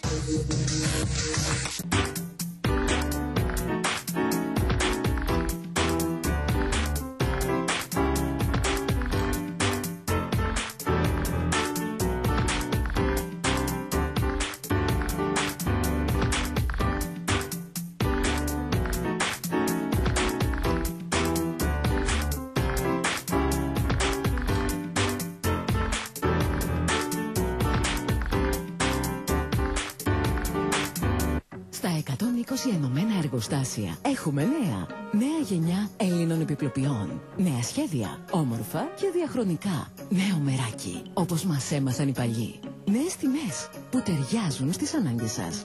120 ενωμένα εργοστάσια επιπλού. Στο 23ο χιλιόμετρο Εθνικής Οδού Αθηνών Λαμίας. Στο Κρυονέρι. Υπάρχει μια αξία που μας οδηγεί σταθερά μέσα στο χρόνο. Δίνουμε σημασία στην ουσία. Και τώρα που ξανά τα ουσιαστικά είναι τα πιο σημαντικά, είμαστε πραγματικά δίπλα σε κάθε Έλληνα για να νιώθει ασφάλεια και να κοιτάζει μπροστά. Ασφάλεια Ελληνέτα. Ασφαλίζει ό,τι αξίζει. Ούζο Ντάρτεμις Black. 100% η καρδιά του αποστάγματος από τη δεύτερη απόσταξη. Οι άριστες πρώτες ύλες και η μυστική συνταγή το κάνουν μοναδικό. Απολαύστε το μαύρο ούζο. Με πιστοποιημένη ποσότητα αριθμημένων φιαλών Ούζο Ντάρτεμις Black. Διπλή απόσταξη για διπλή απόλαυση. Έτσι είναι το καθαρό ούζο. Με την υπογραφή του Βλάση Φιλιππόπουλου. Για το σπίτι και το αυτοκίνητό σας, πυροσβεστικές συσκευές σε πολλά σχέδια και χρώματα. Κάθε πυροσβεστική συσκευή περιέχει ένα κιλό συμπυκνωμένης σκόνης αντίστοιχη των τριών κιλών. Με κάθε αγορά δώρο διάφανη θήκη και βάση για τον τοίχο. Θα μας βρείτε Μιχαλινού 5 στη Δραπετσόνα 210 4627 836 Σας χάλασε το κοντέρ του αυτοκινήτου και φοβάστε ότι θα χάσετε τα χιλιόμετρα για το σερβις. Ελάτε στον ειδικό. Ή θα σας το επισκευάσουμε ή θα ρυθμίσουμε το καινούργιο σας κοντέρ ακριβώς τα χιλιόμετρα του παλιού. Νίκος Μπλέτσας, Θηβών 174 στο Περιστέρι. Προσφορές στα είδη υγιεινής. Μην τσιμπάτε. Μόνο στην Κρέστα. Μπάνιο 20 τετραγωνικά μέτρα με πλακάκια και όλα τα είδη υγιεινής. Μόνο 390 ευρώ. Κρέστα. Χαϊδάρι, γλυκά νερά, μενίδι, άλυμος, Θεσσαλονίκη. Με λένε Κατερίνα και είμαι γυμνάστρια. Κάθε μέρα τα πόδια μου καταπονούνται μέσα σε κλειστά αθλητικά παπούτσια. Τα πέλματά μου σκληρά και αντιαισθητικά.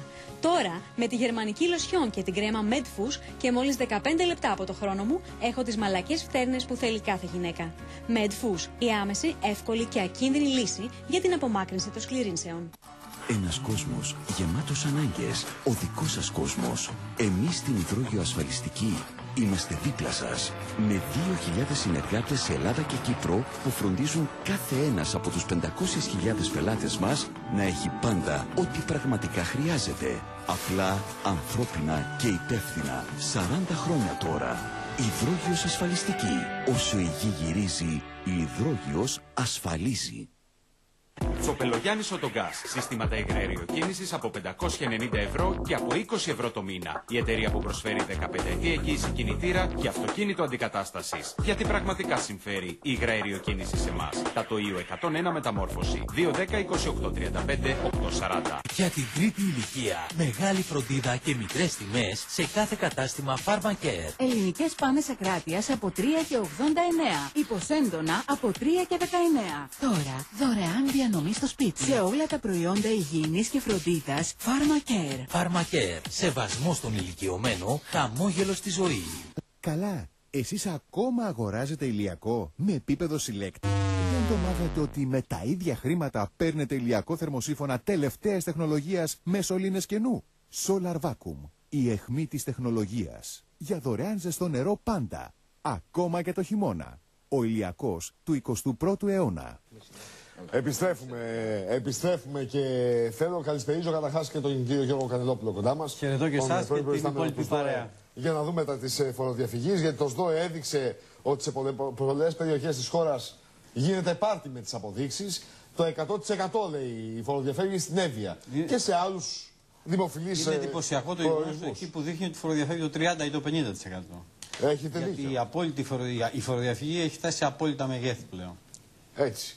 Λοιπόν, μια και είπε η κυρία Κουντουρά νωρίτερα, κύριε Πλεύρη, ότι με τον τρόπο με τον οποίο κυβερνάει η Νέα Δημοκρατία και το Πασόκ, κυβερνάει η συγκυβέρνηση, είναι αμφισβητεί ευθέως και, το, δημο- και τη δημοκρατία και τον κοινοβουλευτισμό, εγώ θέλω το σχόλιο σας.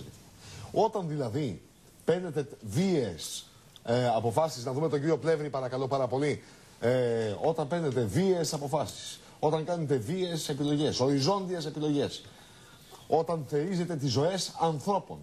Δεν περιμένετε να γιγαντωθούν φαινόμενα όπως της Χρυσαυγής ή της κοινωνικής οργής ή της κοινωνικής αντίδρασης. Ακούστε, θα απαντήσω. Καταρχήν, όσον αφορά στην νομιμότητα, η νομιμότητα κρίνεται όχι από τον κύριο Πλεύρη, την κυρία Κουντουρά, την Ανέλη, τη Νέα Δημοκρατία, από το Συμβούλιο της Επικρατείας. Μέχρι στιγμής, όλες οι προσφυγές που έχουν γίνει ότι τα μνημόνια είναι αντισυνταγματικά, στο σύνολό τους δεν έχουν γίνει δεχτέ από το Συμβούλιο της Επικρατείας. Πρώτον. Δεύτερον, στην κοινωνική οργή, κύριε Παυλόπουλε, το εύκολο πράγμα είναι να πούμε ότι ήταν μια καλώς καμωμένη κοινωνία και ήρθε ένα βράδυ ένα μνημόνιο και τα άλλαξε όλα. Η κρίση και η κοινωνία τώρα που ζούμε, ε, η, η- η κοινωνική οργή που είναι, το μνημόνιο είναι το αποτέλεσμα αυτής της πολιτικής. Της πολιτικής που 30 χρόνια χαρίζονταν χρήματα, γινόταν υπερδανισμός και ήρθε ο λογαριασμός. Αυτός ο λογαριασμός έφερε το μνημόνιο. τι είναι αυτά που το, λέτε, να κύριε λέμε, Κοντουρά, τα το πιστεύετε να αυτά που λέμε, λέτε. το Αλήθεια. να λέμε, το να λέμε ότι η οικονομία δεν είχε κανένα πρόβλημα και το μνημόνιο έφερε όλα τα δεινά. Τα 30 και 35 Παπανδρέου, δισεκατομμύρια έμασα στο ευρώ μνημόνιο. έλλειμμα. Μέσα σε 10 λεπτά. Τα 30 και 35 δισεκατομμύρια ευρώ έλλειμμα. Το γεγονός ότι η χώρα δεν μπορούσε να δανειστεί. Αυτό είναι το αποτέλεσμα της κοινωνικής οργή. Γιατί, κύριε Παυλόπουλε, υπάρχουν και χώρες που δεν έχουν μνημόνιο και έχουν κοινωνική οργή γιατί έχουν κρίση χρέους. Και η Ιταλία δεν έχει μνημόνιο, κύριε Μιλονάκη, αλλά ακολουθούνται πολιτικές που πιέζεται. Γιατί είναι όμως εκεί, υπερχρεωμένα, γιατί, κύριε Πλεύρη; υπερχρεωμένα τα Γιατί κράτη. αναλάβανε τραπεζίτες. Υπερχρεωμένα τα κράτη. Τι είναι αυτά που λέτε; φταίει ο Οι λαός. πολιτικές ηγεσίες φταίνουν. Προφανώς, προφανώς φταίνουν οι πολιτικές ηγεσίες, αλλά αυτό που λέω είναι ότι όταν υπάρχει μια ολόκληρη Ευρώπη σε ύφεση, που να συζητήσουμε οι Αυτό πολιτικές φταίει που είναι τώρα. σε ύφεση. Το ότι τσακίστηκε ένας λαός ολόκληρος από μία απόφαση 10 λεπτών δεν φταίει. Προφα... Το ότι Κύριε ακολουθείτε Μιλονάκη, την κύριε ίδια, κινη- Μιλονάκη, την ίδια σας- πολιτική σας δεν λέω φταίει. κάτι που δεν θέλετε να το ακούσετε. Τι δεν θέλω να ότι, ακούσω; Ότι τρεις, Στον ελληνικό λαό τέσσερις, να τα λέτε, όχι σε μένα. τέσσερις χώρες στην Ευρώπη έχουν μνημόνιο Ναι. και άλλες δέκα χώρες έχουν περιοριστικές Ωραία. πολιτικές Μια χωρίς λοιπόν και το μνημόνιο. λέτε έτσι. Άρα Πριν τα χρέη απαντήσει είναι η που έχουν κυρία δημιουργήσει Κουντουράκη, ο αυτό κύριος το Πετράκος, πρόβλημα.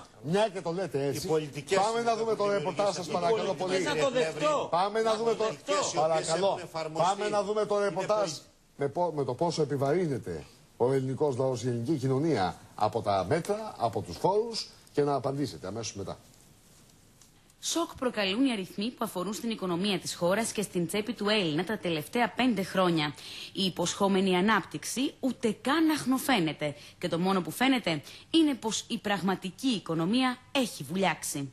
Δείτε πόσο έχουν επηρεαστεί οι παράμετροι της οικονομίας από το 2009 έως το 2013.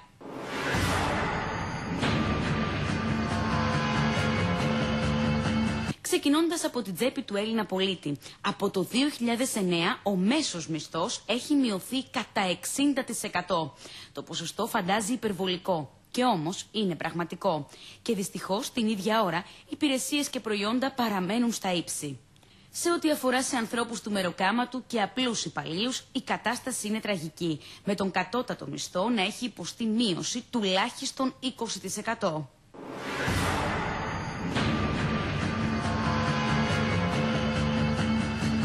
Η οικονομία έχει πιάσει πάτος σε όλους τους τομείς. Το λιανικό εμπόριο μειώθηκε κατά 20%, η βιομηχανία κατά 20,5%, οι τιμές των ακινήτων κατά 30,6%, ο τουρισμός κατά 48,4%, οι επενδύσεις κατά 49,5% και η οικοδομή μειώθηκε κατά 67%. Έτσι το ΑΕΠ μειώθηκε κατά 20,5%.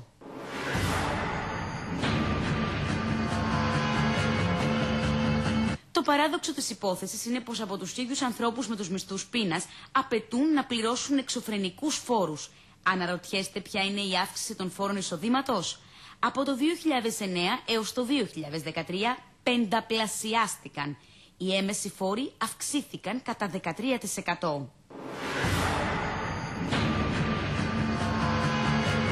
Άμεση συνέπεια των παραπάνω είναι η απόλυτη εξαθλίωση του πολίτη, ο οποίος χρωστά και δεν μπορεί να αποπληρώσει. Γίνεται φτωχότερος, δεν έχει δουλειά. Έτσι, μέσα στα χρόνια των μνημονίων, η ανεργία από 9,4% το 2009 έφτασε στο 28% και στους νέους ξεπέρασε τα χειρότερα σενάρια. Από 25% το 2009 έφτασε το 2013 στο ασύλληπτο 60%. Η φτώχεια αυξήθηκε στο 38,5% και τα κόκκινα δάνεια από 7,8% σε 30%. Από την κυρία Κουντουρά θα ξεκινήσω και θα πάω στον κύριο Πετράκο. Σύντομα σχόλια παρακαλώ να προλάβουμε όλοι να μιλήσουμε. Παρακαλώ. Αυτή τη στιγμή δυστυχώς βιώνουμε μια αποτυχημένη οικονομική πολιτική που έχει να κάνει με όλα τα μνημόνια τα οποία όπου και όποτε εφαρμόστηκαν δεν είχαν κανένα αποτέλεσμα. Σήμερα λοιπόν ακόμα και αυτοί που μας τα επιβάλλουν έρχονται και λένε λυπούμεθα, έγιναν λάθη, αυτά δεν βγαίνουν. Παρόλα αυτά όμως υπάρχουν οι συγκρούσεις. Δεν παίρνουν πίσω την πολιτική τους όμω, κυρία Ακριβώς. Κουντουρά. Όχι μόνο δεν την παίρνουν πίσω, αλλά και η δική μας η πολιτική ηγεσία, αντί να το εκμεταλλευτεί αυτό και να πει: Ελάτε, όπα, μισό λεπτό. Μας επιβάλλεται μια οικονομική πολιτική που κάποιοι από τους εταίρους έχετε πει κατά καιρούς ότι είναι προβληματική. Ελάτε εδώ να δούμε τι μπορούμε να κάνουμε για να μπορέσουμε κι εμείς να είμαστε εντάξει στις υποχρεώσεις μας. Δεν γίνεται καν το αυτονόητο. Η διαπραγμάτευση. Και έρχονται κάποια μικρά δωράκια, επειδή ήρθε ο κύριος Σόιμπλε προχθές, του τύπου προσωρινό ΦΠΑ από το 23 στο 13. Και όλοι όσοι ασχολούνται με το τουρισμό λένε καλό το μέτρο. Άργησε να έρθει, γιατί είμαστε πλέον στο τέλος της τουριστικής περίοδου και να δούμε τι θα κάνουμε. Αλλά και πώς. Τα πακέτα τα επόμενα που τα κλείνουμε τώρα θα τα κλείσουμε με 13 ή 23. Ξέρετε κάτι, θα το ρίξουν πάλι στους εμπόρους, θα το ρίξουν στους επιχειρηματίες ότι να δεν τα καταφέρατε και το πήραν πίσω. Γιατί επίσης πρέπει να βρουν και ισοδύναμα. Τα ισοδύναμα λοιπόν ο φόρος πολυτελείας που πέφτει στα αυτοκίνητα, τα οποία κάποιοι τους το έχουν κατάσχει γιατί έρχεται αναδρομικά και πρέπει να το πληρώσουν για το 2012. Δεν εξαιρούνται οι πολίτεκνοι οι οποίοι έχουν μεγάλου κυβισμού αυτοκίνητα για να μεταφέρουν την οικογένειά τους. Ένα μπάχαλο πρόχειρα, τα πάντα, χωρίς σχέδιο, χωρίς αξιολόγηση. Μιλάγανε σήμερα για τους ε, σχολικούς φύλακες. Αυτοί η ανάγκη ήταν γιατί τα έξοδα από τα γκρεμίσματα των κτηρίων, τους βανδαλισμούς, τους εμπόρους ναρκωτικών, των παιδόφιλων και όλα αυτά τα προβλήματα που υπήρχαν, δημιούργησε την ανάγκη να υπάρξουν σχολικοί φύλακες. Οι οποίοι Τώρα σήμερα... δεν υπάρχει αυτή η ανάγκη, κυρία. Όχι, κύριε Παυλόπουλη, η ανάγκη δεν υπάρχει. υπάρχει αυτή η ανάγκη. Η ανάγκη όμως του να είναι εντάξει στις μνημονιακές υποχρεώσεις τους που πρέπει να απολύσουν 12.500 υπαλλήλους, είπανε πού θα βρούμε. Α, η ΕΡΤ, διεφθαρμένο μαγαζί, προβληματικό.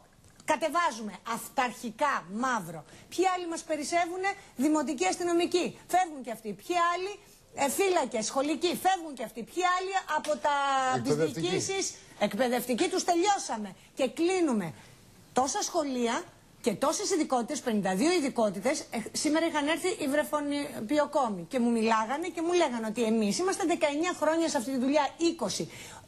Ο δικός μας ο κλάδος είχε τη μεγαλύτερη ζήτηση. Τι θα γίνουν αυτά τα παιδιά; Που Πάμε δεν και έχουν στον τη κύριο Πετάκο, δυνατότητα; παρακαλώ πολύ, για θα να βάλω προλάβουμε. μια τελεία. Να σπουδάσουν στα Ναι, ιδιωτικά. αλλά είπα η σύντομα ΕΡΤ. σχόλια παρακάτω, δεν για να προλάβουμε. Ορίστε, κύριε Πετάκο. Ε, θα έχω πολλά να πω, θα τα πω μετά. Είμαι βέβαιος, κύριε Κουντουρά. Η χώρα βουλιάζει σε όλους τους τομείς. Οι άνθρωποι φτωχαίνουν. Η ανεργία είναι στα ύψη. Η πολιτική αυτή δεν μπορεί να πάει άλλο. Πρέπει να αλλάξει. Πρέπει άμεσα να υπάρξει πολιτική αλλαγή.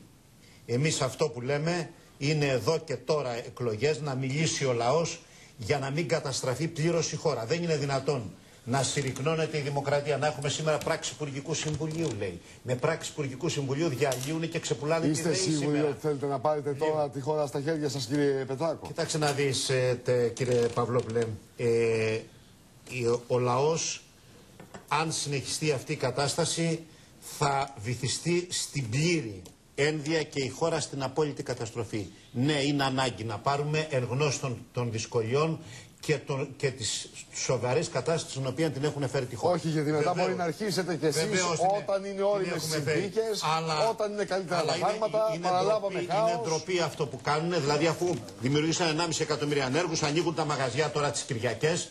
Αποκαλύφθηκαν σήμερα με τα franchise ότι θέλουν ότι ουσιαστικά αυτό που τους ενδιαφέρει είναι να ανοίξουν τα καταστήματα για να τελειώσουν και τους επαγγελματίες. Όπως είπατε, η φορολογία έχει φτάσει στα ύψη. Η, η συνταξιούχη μειώθηκε το εισόδημά του 40% και αυξήθηκε ο φόρος του 50%. Οι, α- οι απολύσεις είναι των πάντων και είπαν και. μι- μιλάμε, απευθύνονται λες και απευθύνονται σε ηθαγενείς. Λέει δε, για να μην απολυθείς, άμα είσαι σχολικός φύλακας, πρέπει να έχεις μεταπτυχιακό. Όμως, τον κύριο που βάλανε προχτές πρόεδρο του ΑΔΜΙΕ, της, της πιο σημαντικής εταιρείας της ΔΕΗ, των, των δικτύων που πουλάνε, Ναι. λοιπόν, είναι όπου ο, ο, αυτός που έχει τα μικρότερα προσόντα έχει μεταπτυχιακό του Πολυτεχνείου, ηλεκτρολόγος ηλεκτρονικών υπολογιστών, έχει πτυχίο ΤΕΗ Πετρελαίου Καβάλας. Και αυτός θα διαχειριστεί την πιο μεγάλη εταιρεία. Οι σχολικοί φυλακές όμως την για να ίδια μείνουν στη ώρα δουλειά όμως. τους πρέπει να έχουν μεταπτυχιακό. ώρα Μας όμως. δουλεύουν τώρα οι Την άνθρωποι. ας ίδια πούμε. ώρα Εντελώς όμως, δηλαδή, για να μην κύριε τρελαθούμε. Πετάκο μου, η φοροδιαφυγή αλωνίζει. Η φοροδιαφυγή και πάμε να δούμε αλωνίζει, μια κύριε κάρτα. Παυλόπουλε. γιατί Θα σας θέλω πω το ένα σχόλιο- στοιχείο. Όχι, θέλω το 2 σχόλιο του κυρίου Αυγούστου του Κανελόπουλου στο ψήλο. 2012. Ένα λεπτό. 2 Αυγούστου του Ένα λεπτό να το 2012. δείτε. Ακούστε με. Ένα ακούστε. λεπτό να το δείτε. Ναι. Να το δείτε κύριε Πετάκο. Για να δείτε, γιατί γιατί φοροδιαφυγή. έχει σημασία να το δούμε. Διότι δεν γίνεται να βρισκόμαστε στο σημείο που βρισκόμαστε και να επιμένουν κάποιοι να μην κόβουν αποδείξεις, να κάνουν πάρτι με τη φοροδιαφυγή και δυστυχώς την ίδια ώρα το Υπουργείο Οικονομικών να μετακινεί το βάρος της σύσταξης των φόρων στα συνήθεια υποζύγια, μισθωτούς, συνταξιούχους, γιατί δεν μπορεί να πατάξει αυτό κύριε Πλεύρη. Εύβοια 100%. Φωκίδα Πόσο είναι, δεν βλέπω ως εκεί. 80. 80. Θύρα 79. 79,3. 31. Πάρος 75. 75,76. Ναι, δεν λένε όμω από πόσους. 100% σε πόσους. Τι εννοείται. Από αυτούς που ήλεγξαν, κυρία Δηλαδή Αναδρή. ήλεγξαν 10 και οι 10 Ναι, ήταν αυτό ε, είναι. παράνομοι. Δεν Αυτό μπορεί είναι. να ήλεξαν μόνο 10 στην Εύβοια. Δεν ξέρουμε. Λα... αυτό λέμε. Και πάει λέγοντας το πάρτι. Λακωνία, Ήος, Αττική, Κρήτη, πάρτι. Κύριε Κανελόπουλε. Ένα πάρτι το οποίο συνεχίζεται πολλά χρόνια στον τόπο μας και ξέρετε, κάθε τόσο μπαίνουν καινούργιοι χορευτές μέσα. Όμως, εγώ θα έλεγα, κύριε Παυλόπουλε, ότι αυτά δεν είναι η πιο γοητευτική πλευρά της φοροδιαφυγής. Εγώ θα έλεγα ότι η γοητευτική πλευρά της φοροδιαφυγής είναι αυτή που σταθερά οδηγεί το κράτος του πολίτες στη φοροδιαφυγή και ουδέποτε διορθώνουμε αυτή την πορεία. Να σας πω ένα παράδειγμα. Εδώ και 20 χρόνια οι προοδευτικοί άνθρωποι που ασχολούνται με τα φορολογικά λένε ότι πρέπει να καταργήσουμε τον κώδικα βιβλίων και στοιχείων και να πάμε στη φορολόγηση της ουσίας. Όχι του τύπου, δηλαδή άργησα ένα λεπτό να κόψω την απόδειξη και γι' αυτό πρέπει να τιμωρηθώ. Βλέπουμε λοιπόν τώρα κόμματα τα οποία ήταν ε, σημεοφόροι αυτής της άποψης της κατάργησης του κώδικα να ψηφίζουν νέο κώδικα. Γελάει ο Και, κόσμος. τι, και τι κώδικα όμως, πρέπει να τα πείτε και τι Θα τα, κώδικα. θα, αν θέλετε να τα πούμε, να τα πούμε ευχαριστώ. Τραγικό. Αλλά το βασικό είναι αυτό. Δεν γίνεται να μην στρέψουμε επιτέλους την πλώρη του καραβιού μας κατευθείαν πάνω στη φοροδιαφυγή, στην ουσία των Να σας πραγμάτων. ρωτήσω κάτι. Πόσα χρόνια είναι σε εκκρεμότητα η συζήτηση; Τη θυμάμαι πολλά χρόνια τώρα. Δεν θυμάμαι πόσα ακριβώς. Ναι. Της απευθείας, της online σύνδεσης των μηχανών με το Υπουργείο Οικονομικών. Δηλαδή να εισπράτεται το ΦΠΑ στην πηγή του. Ναι, υπάρχει και ένας... Αυτομάτως. α, η- Κοιτάξτε, τεχνικά κύριε Παυλόπουλο έχετε δίκιο, μου θυμίζετε κάτι παλιές ιστορίες τώρα. Τεχνικά, τεχνικά αυτό στην Ελλάδα δεν είναι δυνατό εδώ και 7-8 χρόνια. Γιατί δεν το Μπορεί κάνουμε; να γίνει. Δεν το κάνουν, θα έλεγα ότι είναι μια πολύ ωραία ερώτηση να δοθεί στον Υπουργό Οικονομικών. Μήπως στον λοιπόν Υφυπουργό, στον γιατί κύριο βολεύει Μαυραγάνη, κάποιου να στον υπάρχει Γενικό αυτό το Γραμματέα, έργο. στον- Μήπως γιατί βολεύει κάποιου Εάν θέλετε να, να υπάρχει το έργο, προσυπογράψω το αυτή πάρτι την της άποψη, φοροδιαφυγή. να την Διότι δεν μπορεί εδώ και 7-8 χρόνια, όπως λέτε, ως πρώην προϊστάμενος του ΔΟΕ, να μπορούμε να συνδέσουμε online. Online τις μηχανές με το Υπουργείο Εδώ, Οικονομικών. κύριε Παυλόπουλε, και τι να είχαν εισπράτεται το υπουργοί. ΦΠΑ να αποδίδεται αυτομάτως στην πηγή, δηλαδή, στην αγορά. Εγώ θα έλεγα και κάτι άλλο. Και να μην το κάνουμε. Έχουμε φτάσει σε ένα σημείο που η διεθνής εμπειρία μας λέει ότι και αυτό μπορεί να γίνει τεχνητά. Μπορεί να γίνει όμως και αυτό που θα το έλεγε κανείς προκαταβολή ΦΠΑ. Δηλαδή η, η ιστορικότητα που υπάρχει στην καταβολή του ΦΠΑ μπορεί να οδηγήσει κάποιους σε μια εγγύηση, όχι η καταβολή χρημάτων, αλλά σε μια εγγύηση για το ΦΠΑ. Γιατί όταν έρχομαι εγώ μετά από πέντε χρόνια και ανακαλύπτω ότι ο χ έμπορος ή βιομήχανος δεν έχει καν κάνει δήλωση ΦΠΑ, όχι δεν τον έχει αποδώσει, δεν έχει κάνει καν τη δήλωση ΦΠΑ και προσπαθώ να τους ζητήσω πέντε χρόνια το ΦΠΑ, καταλαβαίνετε ότι αυτό είναι για δύσκολο γιατί δεν υπάρχει αυτό. Πιθανόν το χρήμα μπορεί να Άρα το λοιπόν, Άρα λοιπόν δεν αυτό που θέλουμε, χρειάζεται κύριε είναι Καναδό. πρέπει να υπάρχει μια εγγύηση για την καταβολή του ΦΠΑ. Θα διαλύσετε τις επιχειρήσεις. Όχι, δεν θα τι επιχειρήσεις τη διαλύει η επιλογή που κάνετε. Εγγύηση. Κύριε Πλεύρη, τη διαλύει η επιλογή που κάνετε και δεν την αναδεικνύεται όσο πρέπει. Της προκαταβολής, της αύξησης του προκαταβολής του φόρου. διαφορά, Δηλαδή, βεβαίως. όταν όμως το 2003 ήταν έτοιμο ένα πλαίσιο για να καταργηθεί η προκαταβολή, τότε κάποιοι έκλειναν τα αυτιά τους. Τώρα λοιπόν πρέπει να πάμε στην κατάργηση της προκαταβολής και στην εγγύηση για την καταβολή του ΦΠΑ. Γιατί ο ΦΠΑ είναι φόρος μήνα με το μήνα, μέρα με τη μέρα. Πάμε σε πολίτες που περιμένουν. ξέρετε στις κάτι γραμμές άλλο που είναι και εύκολο πάω αμέσως τεχνικά, μετά κύριε στους συναδέλφους Παυλόπουλε. οι οποίοι δεν μίλησαν ακόμη. Όχι μόνο Ορίστε, οι κύριε μηχανές μπορούν να είναι συνδεδεμένες με το Υπουργείο Οικονομικών, αλλά και οι λογαριασμοί αυτών οι οποίοι κόβουν τις αποδείξεις μπορούν να είναι συνδεδεμένες με τα ταμεία του Υπουργείου Οικονομικών το ρωτάς και με αυτό κάθε το θέμα απόδειξη των που κόβεται καρτών. να περνάει αυτομάτως ο ΦΠΑ στο ταμείο του Υπουργείου. Μήπως μπορεί να γίνει. Όμως εγώ θα επιμείνω σε κάτι. Γιατί ακούγεστε τον Και αν θέλετε να την αλλάξετε. αλλάξετε, το μικρόφωνο σου, οπότε να κάντε την την μεταβάλουμε ερώτηση λιγάκι την ατζέντα. Κύριε Καναδόπουλε, ένα λεπτό. Δεν είναι αυτό το μεγαλύτερο πρόβλημα σήμερα που υπάρχει με τις αποδείξει. Ξέρετε ότι αυτή τη στιγμή στην Ελλάδα πολλές πολυεθνικές, οι οποίες έχουν κάποιες συνήθειε πρακτικές, δεν φορολογούνται. Πριν από ένα μήνα ή διάβασα στις εφημερίδες ότι μια πολυεθνική στην Ιταλία τη επιβλήθηκε φόρος 70 εκατομμύρια ευρώ επειδή δεν τηρούσε τις διαδικασίες του transfer pricing. Στην Ελλάδα αυτή η έκφραση είναι άγνωστη ακόμα και στους ανθρώπους του Υπουργείου Οικονομικών. Δεν έχει επιβληθεί ποτέ φόρος σε πολυεθνική εταιρεία για ενδοομιλικέ Και συναλλαγές. Ακριβώς αυτό είναι το Λοιπόν, βασικό αυτό που πέφτει το. Ξέρετε ότι εκεί είναι τα μεγάλο πολλά τα πάρτι είναι χρήματα. εκεί, νομίζω, κύριε Καραλόπουλο. Και το γεγονός ότι τα φορολογικά έσοδα έχουν μείνει ανάδελφα Βάλτε κύριε ένα τελεία. Κρατάει την ερώτησή του ο κύριος Γιώργο Μπαζολιά για το επόμενο μέρος. Πάμε στους πολίτες που περιμένουν. Ο κύριος Γεωργιάδης. Καλησπέρα σας. Καλησπέρα και σε εσάς. Ε, θα ήθελα να μιλήσω μόνο μαζί με τον κύριο Κλέβε για λίγο και να του πω ότι δεν φτάνει το λάθος το οποίο έχουν κάνει, έγινε ένα λάθος, συνεχίζουν και επιμένουν μέχρι την ολοκληρωτική καταστροφή, κύριε Κλέβε. Και είναι, δηλαδή, βλέπετε μια ολόκληρη χώρα η οποία αυτή τη στιγμή παλεύει να, να βγει μέσα από τη στάχτη της και δεν βοηθάτε καθόλου. Εγώ θα ήθελα λοιπόν να σας ρωτήσω κάτι. Πώς γίνεται το Λουξεμβούργο, η Αγγλία, η Ελβετία, και όλες αυτές οι χώρες, το Βέλγιο, η Γαλλία, η Δανία, η Αυστρία, να έχουν μεγαλύτερο ποσοστό χρέος από εμάς και να μην χρειάζονται σώσιμο, αλλά αντίθετα να έρχονται να σώσουν εμάς. Η πρώτη ερώτηση. Θα μας απαντήσετε σε αυτό το συγκεκριμένο. Πώς γίνεται η Νορβηγία με χρέος 143 του ΑΕΠ της να μην έχει πρόβλημα και να μην χρειάζεται σώσιμο και περικοπές; Για να καταλάβετε τι σημαίνει αυτό, σημαίνει ότι αυτή τη στιγμή σε αυτές τις χώρες η καθαρίστρια παίρνει 2.000 ευρώ μεροκάματο. Στην Ελβετία Χρέος 271 τη ΑΕΠ της. Βλέπετε πώς ζουν στην Ελβετία. Εμείς χρειαζόμαστε σώσιμο, γιατί θέλουν να πάρουν την Ελλάδα. Και γιατί οι παγκόσμιοι δανειστές δεν ανησυχούν μήπως χάσουν τα 13,5-3 που χρωστάνε η ΕΠΑ, τα 2-3 που χρωστάει το Λουξεμβούργο, τα 9-3 που χρωστάει η Αγγλία, αλλά ανησυχούν για τα 500 δισεκατομμύρια που χρωστάμε εμείς. Κύριε Γεωργιάδη, Πλεύρη, στην, εάν, Νορβη... στην εάν Νορβηγία απαντήσετε ζείτε. σε αυτό. Έτσι Ορίστε. δεν είναι. Στην Νορβηγία ζείτε. Μάλιστα, μάλιστα. Μάλιστα. Σας ευχαριστώ Εγώ λοιπόν, πολύ. θα ήθελα, εγώ λοιπόν θα ήθελα να απαντήσει ο κύριος Πλεύρης πρώτα Ευχαριστώ, στον κύριε εαυτό Γεωργιάδη. τους σε αυτές τις ερωτήσεις, σε αυτά να το απαντήσει γιατί ξέρετε κάτι.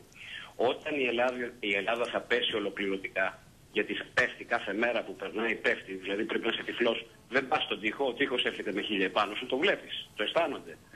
Δηλαδή τι θα πούνε, ένα συγγνώμη και θα φύγουνε; Αυτή είναι η υποχρέωση. Δηλαδή τώρα υπερασπίζονται αυτό που υπερασπίζονται. Μετά τι θα κάνουν, θα πούνε ένα συγγνώμη και θα φύγουνε; Η ερώτησή μου λοιπόν, αν ας απαντήσεις σε αυτά τα ερωτήματα, γιατί όλες αυτές οι χώρες δεν χρειάζονται σώσιμο και χρειαζόμασταν μόνο εμείς και γιατί συνέχεια να λέμε ότι έπρεπε φτιάξιμο να, να φτιαχτεί η Ελλάδα. Ευχαριστώ κύριε Γεωργιάδη για την παρέμβαση. Ακούστε τι γίνεται. Η Ελλάδα με την επιλογή που έκανε να βρίσκεται στην Ευρωζώνη και να βρίσκεται στο ευρώ δεν είχε εθνικό νόμισμα. Μη έχοντας εθνικό νόμισμα δεν μπορούσε να κάνει πολιτική.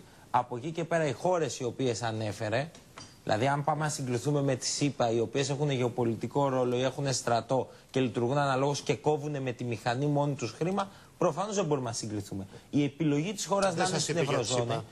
η- Είπε για τη ΣΥΠΑ, για το Πώς Λουξεμβούργο, είπε για για την το Ελβετία, χρέος, είπε για για την το Αγγλία, για την Αγγλία ήταν όλες χώρες εκτός ευρώ. Διότι έχουν τη δυνατότητα να έχουν τη δική τους νομισματική πολιτική. Να κάνουν υποτιμήσεις, να κόβουν χρήμα, να υποτιμάται το νομισμά τους, Άρα να να μένουν οι μισθοί επιστρέψουμε στη ήδη. δραχμή. Να, όχι, α, εγώ λέω η επιλογή, αν θέλετε, κακώς έγινε τότε η επιλογή να μπει η χώρα στο ευρώ. Εάν πάμε τότε. Από Άρα τη να στιγμή. επιστρέψουμε Όχι. τώρα στη δραχμή. γιατί από τη στιγμή που ήσουν στο ευρώ, Ναι. εάν επέστρεφε στη δραχμή, η, η προσαρμογή θα ήταν καταστροφική. Εδώ Διότι- τώρα ζούμε. ζούμε... δεν λέω αυτό το πράγμα, λέω αυτό το πράγμα, κύριε, Κύριε Παυλόπουλε, ο Λέω αυτό το Παπανδρέου πράγμα. μας Κυρία- έβαλε, κυρία Κουντουρά, ο Παπανδρέου μας είναι η έβαλε ώρα- στο δούνου του, είναι η ώρα που ακούμε τους μιλώντας τηλεθεα- με τον παρακαλώ. κύριο Στροσκάνη πόδια και Κουντουρά, κάτω από το βοηθήστε με, τραπέζι παρακαλώ και με παραποιημένα στοιχεία. Αυτή είναι η αλήθεια Κυρία και Κουντουρά, τίποτα άλλο. Πάμε στην, στον κύριο Κανακάρη. Καλησπέρα σας. Καλησπέρα κύριε Παυλόπουλε. Παρακαλώ. Τελικά βλέπουμε παγκόσμια ε, ότι ζούμε μια περίοδο που δημιουργούνται χρέη σε όλα τα κράτη. Γιατί άραγε αυτό; Μα το βλέπουμε. Ε, Και ο προηγούμενος ομιλητής σας αυτό είπε. Έχουμε χρέη παντού. Όλες οι οικονομίες πάνε σε χρέη. Από την άλλη έχουμε σήμερα την, την ημέρα της δημοκρατίας. Μια δημοκρατία την οποία την έχουμε εκπορνεύσει. Όταν ξέρουμε το, το τι γίνεται και το, το τι συμβαίνει, πώς καταπατούνται τα πάντα σήμερα. Ευχαριστώ κύριε Κανακάρη. Πάμε στον κύριο Χατζηγεωργίου. Καλησπέρα σας. Καλησπέρα κύριε Παυλόπουλε. Παρακαλώ. Θέλω να πω ένα πράγμα στους κυρίους όλους εκεί πέρα. Ότι εμείς αυτή τη στιγμή, εγώ είμαι αυτή τη στιγμή άνεργος όπως και 1,5 εκατομμύριο Έλληνες ε, του ιδιωτικού τομέα. Το θέμα είναι ότι με 460 ευρώ στο, από τον ΟΕΔ με δύο παιδιά και τη σύζυγος άνεργη δεν μπορούμε να, ούτε να αγοράσουμε ούτε γάλα για τα παιδιά μας. Και το να, έχουμε, να παίρνουμε 8.000 ευρώ, ή όπως κάνουν εκεί οι βουλευτές και να μας λένε ότι θα προσπαθούν να φτιάξουν εμάς, να τους δώσουμε εμείς τα 460 και να μας δώσουν αυτοί τα 8.000 ευρώ που θα ζήσουν 15 οικογένειες και όχι μία. Ευχαριστώ Και ένα άλλο κύριε τελε- Χατζηγεωργίου. Σας ευχαριστώ πολύ. Πάμε και στην κυρία Κουράκου. Καλησπέρα σας. Καλησπέρα σας κύριε Παυλόπουλε και καλησπέρα στους συνομιλητές σας. Είμαι εκπαιδευτικός και θέλω να τονίσω πρώτα πρώτα ότι δεν είμαι αυτή τη στιγμή κάτω από καμία πολιτική ομπρέλα.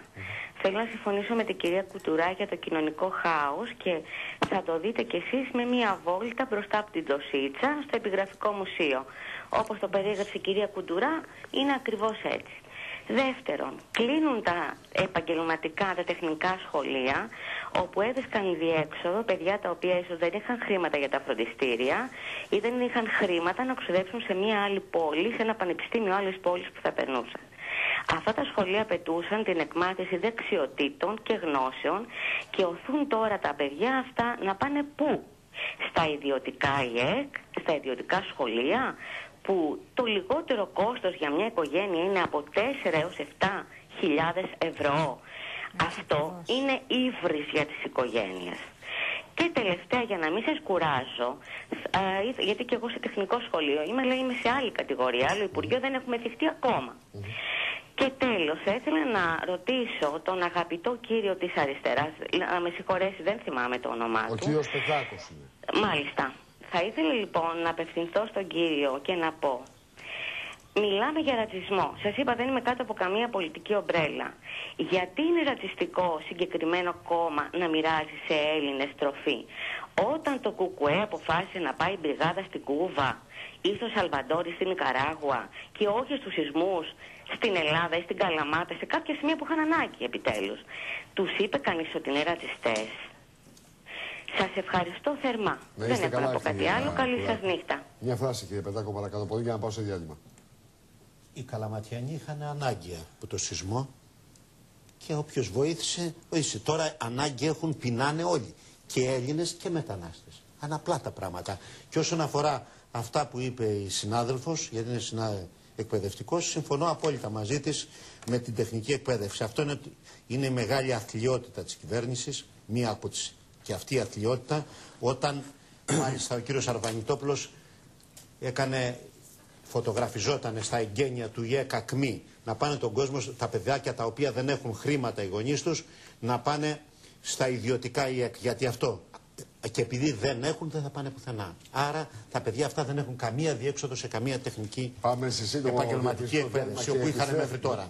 Διότι θα δούμε και τι έγινε με τον Αντώνη Ρέμο, ο οποίος έγινε πρωτοσέλιδο στην εφημερίδα Bild. Βρήκαν ε, πρόσχημα οι Γερμανοί της Bild για να ξεσπάσουν σε ένα νέο ανθεληνικό παραλήρημα.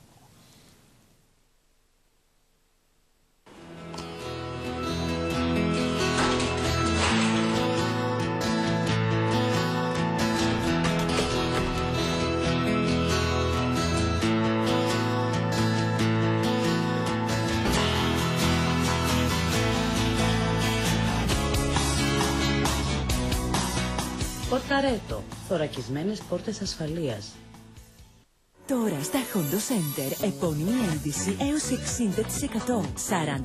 40% αντιλιακά άμπρες Σολέ και L'Oreal Paris. Καθαριστικά προσώπου L'Oreal. Κρέμες διαδερμήν και ηλεκτρικές οδοντόβουρτσες Oral B. 50% Gillette Venus. Ένα συν ένα δώρο βαφή Βέλατον. Hondo Center. Υπέροχο ταξίδι ομορφιάς. Ούζο Ντάρτεμις Black. 100 από τη δεύτερη απόσταξη. Οι άριστες πρώτες ύλες και η μυστική συνταγή. Το κάνουν μοναδικό. Απολαύστε το μαύρο ούζο. Με πιστοποιημένη ποσότητα. Αριθμημένο φιαλό. Ούζο Ντάρτεμις Black. Διπλή απόσταξη. Για διπλή απόλαυση. Έτσι είναι το καθαρό ούζο. Με την υπογραφή του Βλάση Φιλιππόπουλου. Πιες κάτι νέο; Aloe Drink. Υπέροχο φρουτοποτό με κομματάκια αλόης. Σούπερ αναζωογόνηση. Σούπερ δροσιά. Σούπερ γεύση. Από τη μοντέλο Group Ελλάς. Aloe Drink. Πιες και πέτα. Ψάχνεις για μεταφορική; Η λύση είναι μεταφορική ΕΠΕ. Γρήγορα, ασφαλισμένα και οικονομικά. Με δίκτυο διανομών σε Ελλάδα και Κύπρο αναλαμβάνουμε τις μεταφορές σας door to door. Εμπιστευτείτε τα 55 χρόνια εμπειρίας μας. Μεταφορική ΕΠΕ. Συνέπεια, αξιοπιστία, επαγγελματισμός.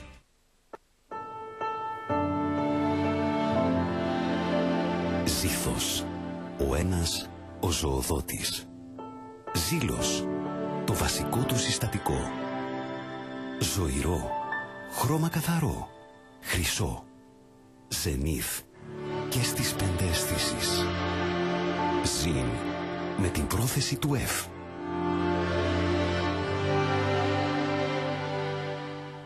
Τα παιδιά μας, ό,τι πολυτιμότερο έχουμε. Και εμείς σαν γονείς πρέπει να τα προστατεύουμε.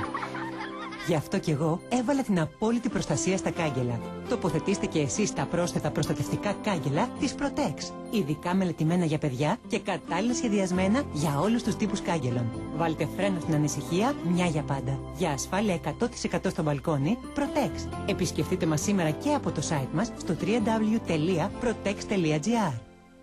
Χρυσός σε ευρώ. Στην Αθηνά άνοιξαν τα τρία πρώτα καταστήματα της γνωστής αλυσίδας franchising Oro in Euro. Νούμερο 1 στην Ευρώπη με πάνω από 200 σημεία πώλησης. Αγορά χρυσού και ασημιού στις υψηλότερες τιμές της αγοράς με άμεση πληρωμή μετρητών. Outlet καταστημάτων. Μοντέρνα κοσμήματα σε ασυναγώνιστες τιμές. Ανταλλαγές. Αγορά επενδυτικού χρυσού, ράβδων χρυσού ή ασημιού. Χρυσός σε ευρώ. Για το σπίτι και το αυτοκίνητό σας πυροσβεστικές συσκευές σε πολλά σχέδια και χρώματα. Κάθε πυροσβεστική συσκευή περιέχει ένα κιλό συμπυκνωμένης σκόνης αντίστοιχη των τριών κιλών. Με κάθε αγορά δώρο διάφανη θήκη και βάση για τον τοίχο. Θα μας βρείτε Μιχαλινού 5 στη Δραπετσόνα 210 4627 836 Εκπτώσεις στα τελευταία κομμάτια. Σε περιμένουν στην IKEA να τα αποκτήσεις. Μην αναβάλεις. Ανακάλυψέ τα σήμερα και για όσο υπάρχουν αποθέματα. IKEA.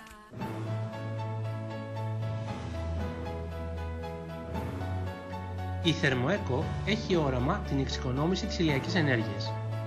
Έφερε στη χώρα μας ένα νέο τύπο ανοξίδωτου ηλιακού θερμοσύφωνα με συλλέκτη από λάμπες καινού. Θα μας βρείτε Γρηγορίου Λαμπράκη και Χρυσοστόμους Μύρνης. Πλατεία Άρεος 5. Τηλέφωνο 210 4952 519. Θέλετε να δροσίζεστε με το πιο ενεργειακά αποδοτικό, φυσικό και υγιεινό τρόπο; Όλοι οι επώνυμοι ποιοτικοί ανεμιστήρες στις καλύτερες τιμές της αγοράς, συγκεντρωμένοι σε ένα κατάστημα. Για να μην ψάχνετε.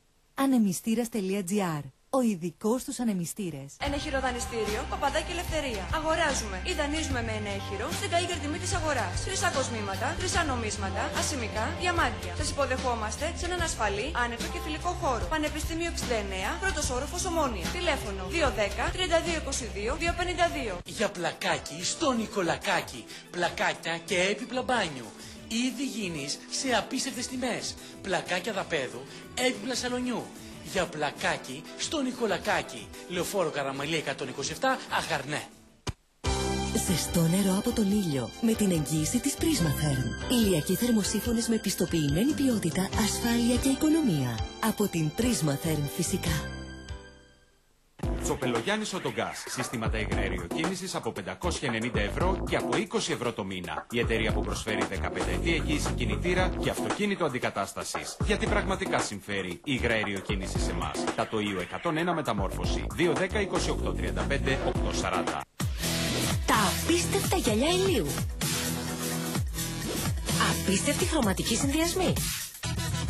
Απίστευτη ελαστικότητα. Απίστευτο βάρος. Incredible. Γυαλιά ηλίου και οράσεως.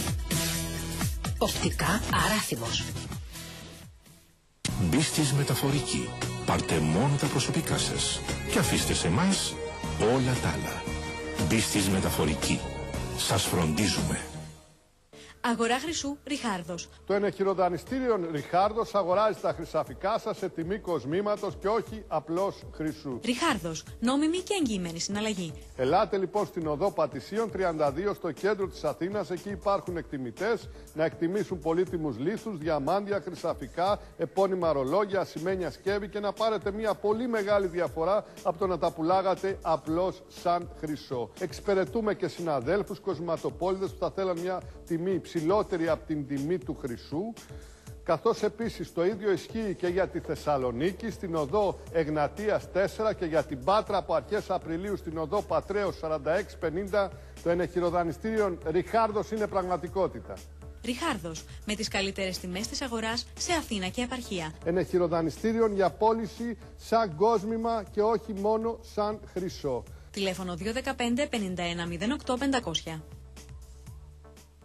Ηλιοθερμική κέντρο ηλιακού θερμοσύφωνα. Τώρα ο ηλιακός Άνι 160 λίτρων, 2,6 τετραγωνικά με επιλεκτική επιφάνεια και ευρωπαϊκή πιστοποίηση 590 ευρώ. Καλά ακούσατε. Μόνο 590 ευρώ. Ποιότητα και τιμή που μόνο εμείς προσφέρουμε γιατί μόνο εμείς μπορούμε. Ηλιοθερμική 210 52 29 800.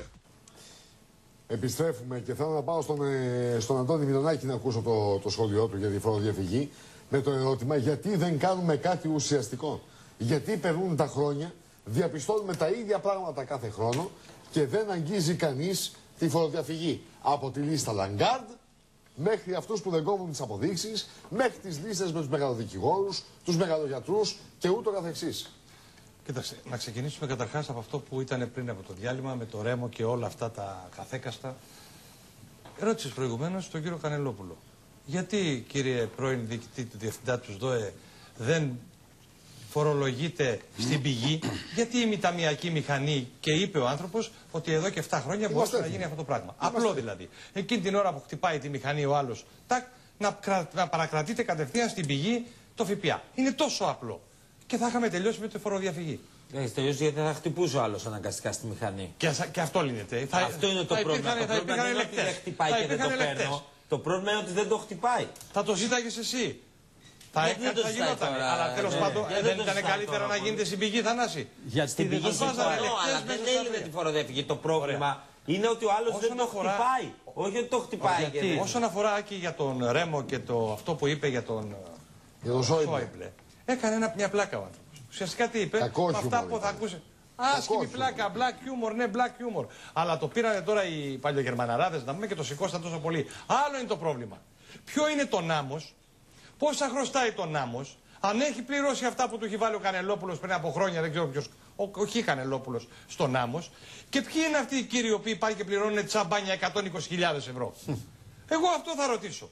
Ποιοι είναι αυτοί οι αλητήριοι οι οποίοι έχουν τόσα λεφτά τελικά και πάνε και δίνουν 30.000, 50.000 και 80.000 για ένα παλιομπουκάλι σαμπάνια; Και ο άλλος δεν έχει να φάει. Αυτό θα πω εγώ. Όχι όλα τα άλλα, επειδή είπε για το Σόιπλε, χέστηκε η φορά στα σταλόνι. Και τι έγινε δηλαδή. Πλάκα έκανε ο άνθρωπος, το είπε. Ζητάω συγγνώμη, έκανα μια πλάκα. Εντάξει. Αυτό είναι το πρόβλημά μας. Πάμε να Ή το τον δούμε. Άμμος και όλοι οι άλλοι τύποι οι οποίοι Πάμε να το δούμε μια και το- το λέει ο Αντώνης και να πάω στον Ανδρέα Καψαμπέλη και τον κύριο Καραδόπουλο. Αφορμή έψαχνε η γερμανική εφημερίδα Bild για να δείξει για ακόμα μια φορά το φιλελληνικό της χαρακτήρα. Το πάτημα δόθηκε μετά το χλιδάτο πάρτι στο διάσημο Νάμος, όπου ο Αντώνης Ρέμου στόλισε με γαλλικά το Γερμανό Υπουργό Οικονομικών Wolfgang Schäuble. Αυτό θα διοσώζει και θα δραματίσει ο ανθρώπους. Θαύμα, παιδιά, σηκώθηκε ο Σόιμπλε και περπάτησε. Έλα, πάμε. Το πλήθος ζητοκράβγαζε και γέλαγε με κάθε σχόλιο του τραγουδιστή για την αναπηρία του Υπουργού Οικονομικών που προκλήθηκε από την απόπειρα δολοφονίας εναντίον του το 1990, γράφει η Bild. Η εφημερίδα αναφέρεται στη δραματική οικονομική κρίση, επισημένοντα πως όποιος κάνει διακοπές στη Μύκονο δεν νιώθει την κρίση. Το ίδιο και οι 1500 επισκέπτες που την Κυριακή το βράδυ βρέθηκαν σε μια ιδιωτική εκδήλωση, καταναλώνοντας περισσότερα από 300 μπουκάλια σαμπάνιας, με την ακριβότερη να πωλείται 25.000 ευρώ η φιάλη. Πάντως, ο ίδιος ο τραγουδιστής έσπευσε χθες με ανακοίνωσή του να μαζέψει τα ασυμμάζευτα, λέγοντας πως το χιούμορ που έκανε με τον Γερμανό Υπουργό ήταν αυτό του μέσου Έλληνα. Σε ό,τι αφορά δε στις σαμπάνιες, είπε ότι ο ίδιος τραγουδούσε και δεν έπινε. Κάτι ωστόσο που διαψεύδουν οι φωτογραφίες της βραδιάς.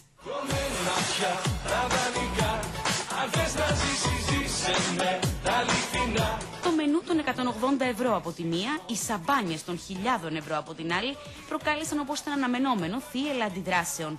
Οι Έλληνες ζουν στην ανέχεια και κάποιοι προκαλούν, πίνοντας ποτά που κάθε γουλιά τους στοιχίζει όσο ο κατώτατος μισθός του Έλληνα πολίτη.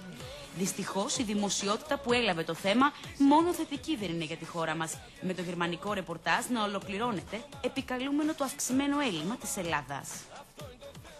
Θα κάνει Αφορμή, να κάνει ένα έτσι. ρεπορτάζ. Αφορμή, αφορμή. Κύριε Παυλόπουλε, καλά θα κάνει να κάνει ένα ρεπορτάζ για τους τοκογλύφους Γερμανούς που κερδοσκοπούν εις βάρος μας και μέχρι το 2012 τον Δεκέμβριο βγάλανε 65 δις από την κατάρτια της Συμφωνώ Ελλάδας. μαζί Και όχι σας. μόνο αυτό. θα Συμφωνώ μου- κύριε θα, Κοντουρά. θα μου επιτρέψετε να Ναι, Ανδρέα. συμπληρώσω σε αυτό που λέει η κυρία Κουντουρά το φρέσκο στοιχείο ότι σύμφωνα με τα επίσημα στοιχεία η Ευρωπαϊκή Κεντρική Τράπεζα, η λεγόμενη Κουτού που είναι ένας από τους τρεις της Τρόικα, ε, κέρδισε την τριετία της κρίσης από τα ελληνικά ομόλογα από την Ελλάδα γύρω στα 9 δις ευρώ. Κάποιος πληρώνει όμως το Αυτό- 100% της αξίας των αυτό- Ελλη- στα αυτό- ελληνικά ομόλογα και έτσι τώρα είναι, και κύριε δεν, το, Παπάκο. και δεν απαντάει στην Έτσι Βουλή, είναι, κύριε Κατσοπεδάκο. Παπάκο. Λοιπόν, Λοιπόν, αυτοί βέβαια κάνουν Αφήστε αυτό. με να Να, ολοκληρώσω. να πει τη φράση του κύριε Θέλω Παπάκο. λοιπόν να πω ότι αυτό έχει τεράστια σημασία προς την εξής κατεύθυνση. Δηλαδή του να σταματήσει το αυτομαστίγωμα του Έλληνα και της ελληνικής κοινωνίας. Αυτό το αυτομαστίγωμα, άλλοτε ηθελημένα, άλλοτε αθέλητα, είναι το καλύτερο επιχείρημα στα χέρια των δανειστών.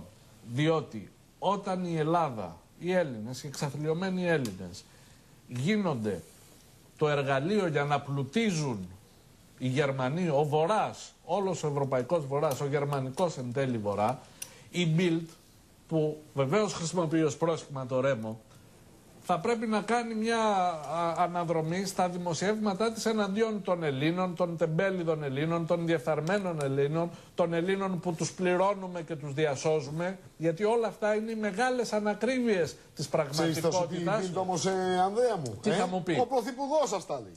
Α το πει. Ο Υπουργός των κοίταξε, Οικονομικών σας τα ε, έλεγε. εμάς Δεν τα νομίζω- λέμε εμείς μόνο. Εμάς νομίζω ότι πρέπει να μας αφορά το γεγονός της πραγματικότητας και όχι το τι λέει ο κάθε πρωθυπουργός, το τι έχει πει ο κ. Παπανδρέου, το τι είχε πει ο κ. Καραμαλής, το τι λέει ο, Μα ο δεν τα εκάστοτε λέει μόνο. πρωθυπουργός. Τα κάνει.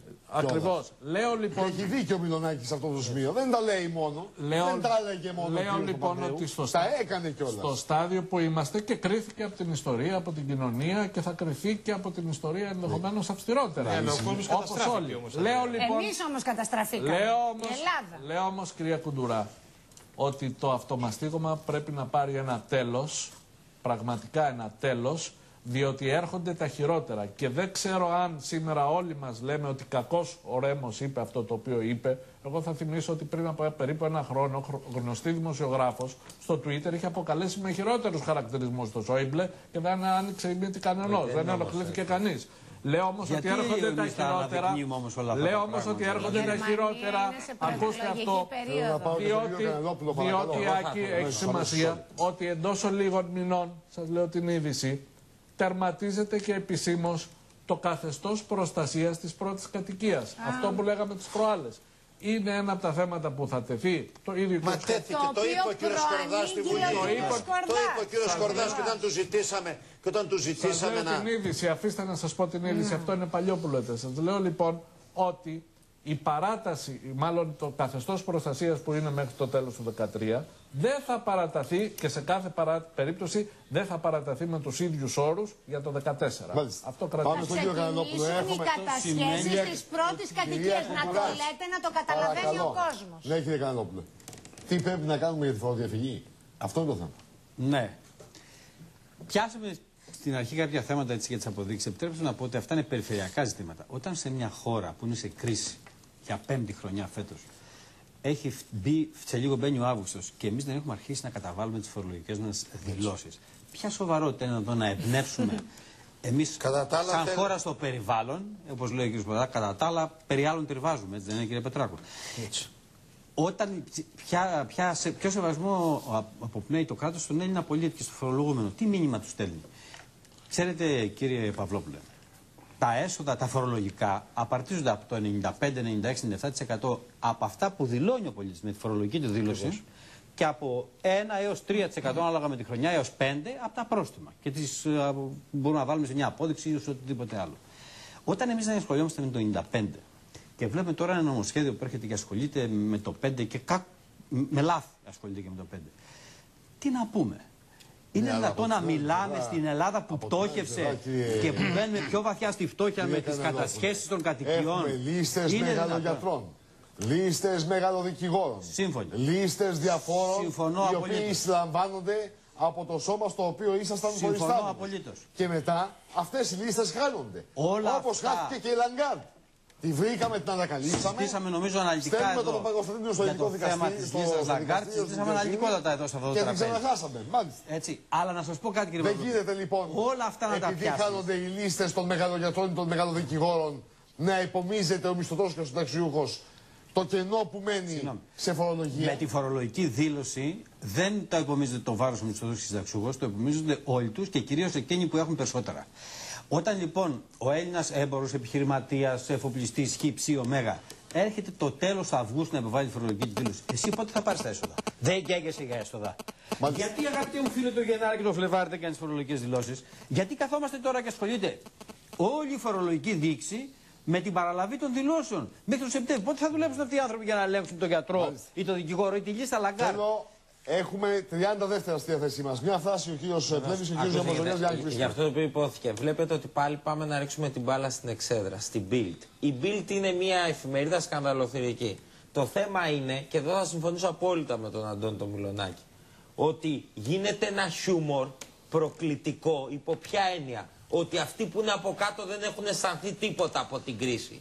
Και προφανώς δεν τους ενδιαφέρει ο Σόιμπλε. Δεν είναι χιούμορ όταν μιλάς για έναν Μισό άνθρωπο λεπτό. ανάπηρος. Όχι, λέω το χιούμορ. Δεν είναι Προφανέστατα αυτό. Ε, δεν όχι δίνεται τώρα. Θέμα. Δεν Αλλά- μπορώ να αλλά είμαι σε ένα λέω- τραπέζι και αλλά να λέω ακούστε με, είπα, τη έχω μια φράση, βρισιά έχω μια φράση και εναντίον δεν του μ' ανθρώπου αφήνετε. που είναι ανάπηρος Έχω μια φράση και δεν- Από Ε, έναν άνθρωπο που κύριε θερείται Κανελόπουλε, κάθε είδους έχω μια πολιτισμού. φράση και δεν με Παρακαλώ. αφήνετε. Και εγώ έχω μια φράση. Δεν- όμως Δεν μπορώ να λέω Λοιπόν, αυτά να- να- το να- ίδιο να- το να είπε- τα ακούω σαν Ακούστε χιούμορ με, αυτά. Το ίδιο το είπε και βουλευτής του ΣΥΡΙΖΑ και ζήτησε συγγνώμη πριν ε, δύο-τρεις μήνες.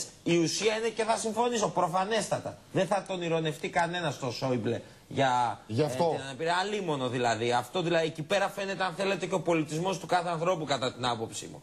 Αλλά η ουσία του πράγματος είναι ότι αυτό που είπε ο Ρέμος χθες ότι ήταν το χιούμορ του μέσου Έλληνα, ναι, αλλά δεν διασκέδαζε με το μέσο Έλληνα.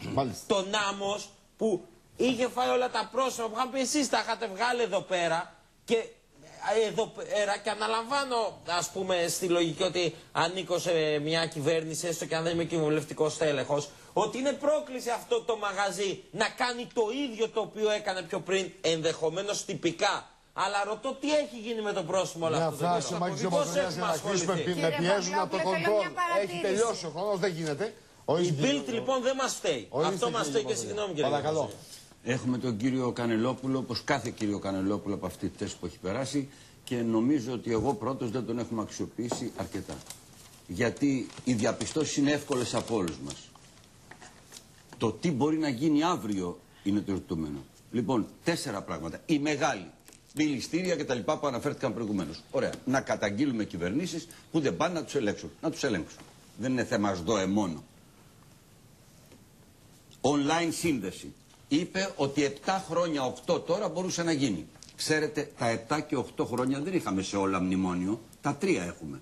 Τα προηγούμενα χρόνια γιατί δεν έγινε αυτή η σύνδεση; Δεν κατηγορώ συγκεκριμένες κυβερνήσεις και μας πρόσωπα. απαγορεύει. Λέω ότι αφού 8 χρόνια μπορούσαμε να το κάνουμε, έπρεπε να το έχουμε κάνει. Δεύτερο, τρίτο, παρακαλώ. Τρίτο, online σύνδεση λοιπόν μπορεί να γίνει.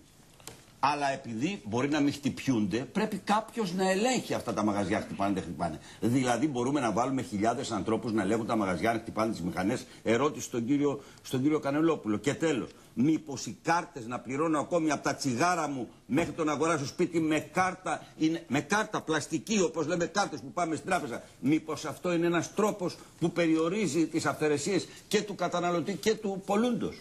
Αυτό. Αύριο έρχεται το φορολογικό στη Βουλή, κύριε Παυλόπουλε. Δεν έχω χρόνο κύριε Ντομπαζούδα να απαντήσει ο κύριος Κανελόπουλος. Μα γι' αυτό το φοράσα. Έχει κλείσει το δελτίο. Παιδευόμαστε σαν χώρα να πάρουμε 600 νομοσχέδιο ελεγκτές. στη Βουλή Για το όνομα του οποίο Θεού, δηλαδή. κατάσχει όλη Ποιος την να πάει να περιουσία ελέγξει; ιδιωτική των μικρόφιλετών. Δεν Καλά. κάνει τίποτα για τη φοροδιαφυγή. Έχουν έρθει 20 Από σετ χιλιάρικο και πάνω, φορολογικά και θα υποφέρει ο Έλληνας. Ευχαριστώ Έλληνας. πολύ όλους σας να είστε καλά. Ευχαριστούμε πολύ και εσάς που μείνατε μέχρι αυτή την ώρα. Καλή σας νύχτα.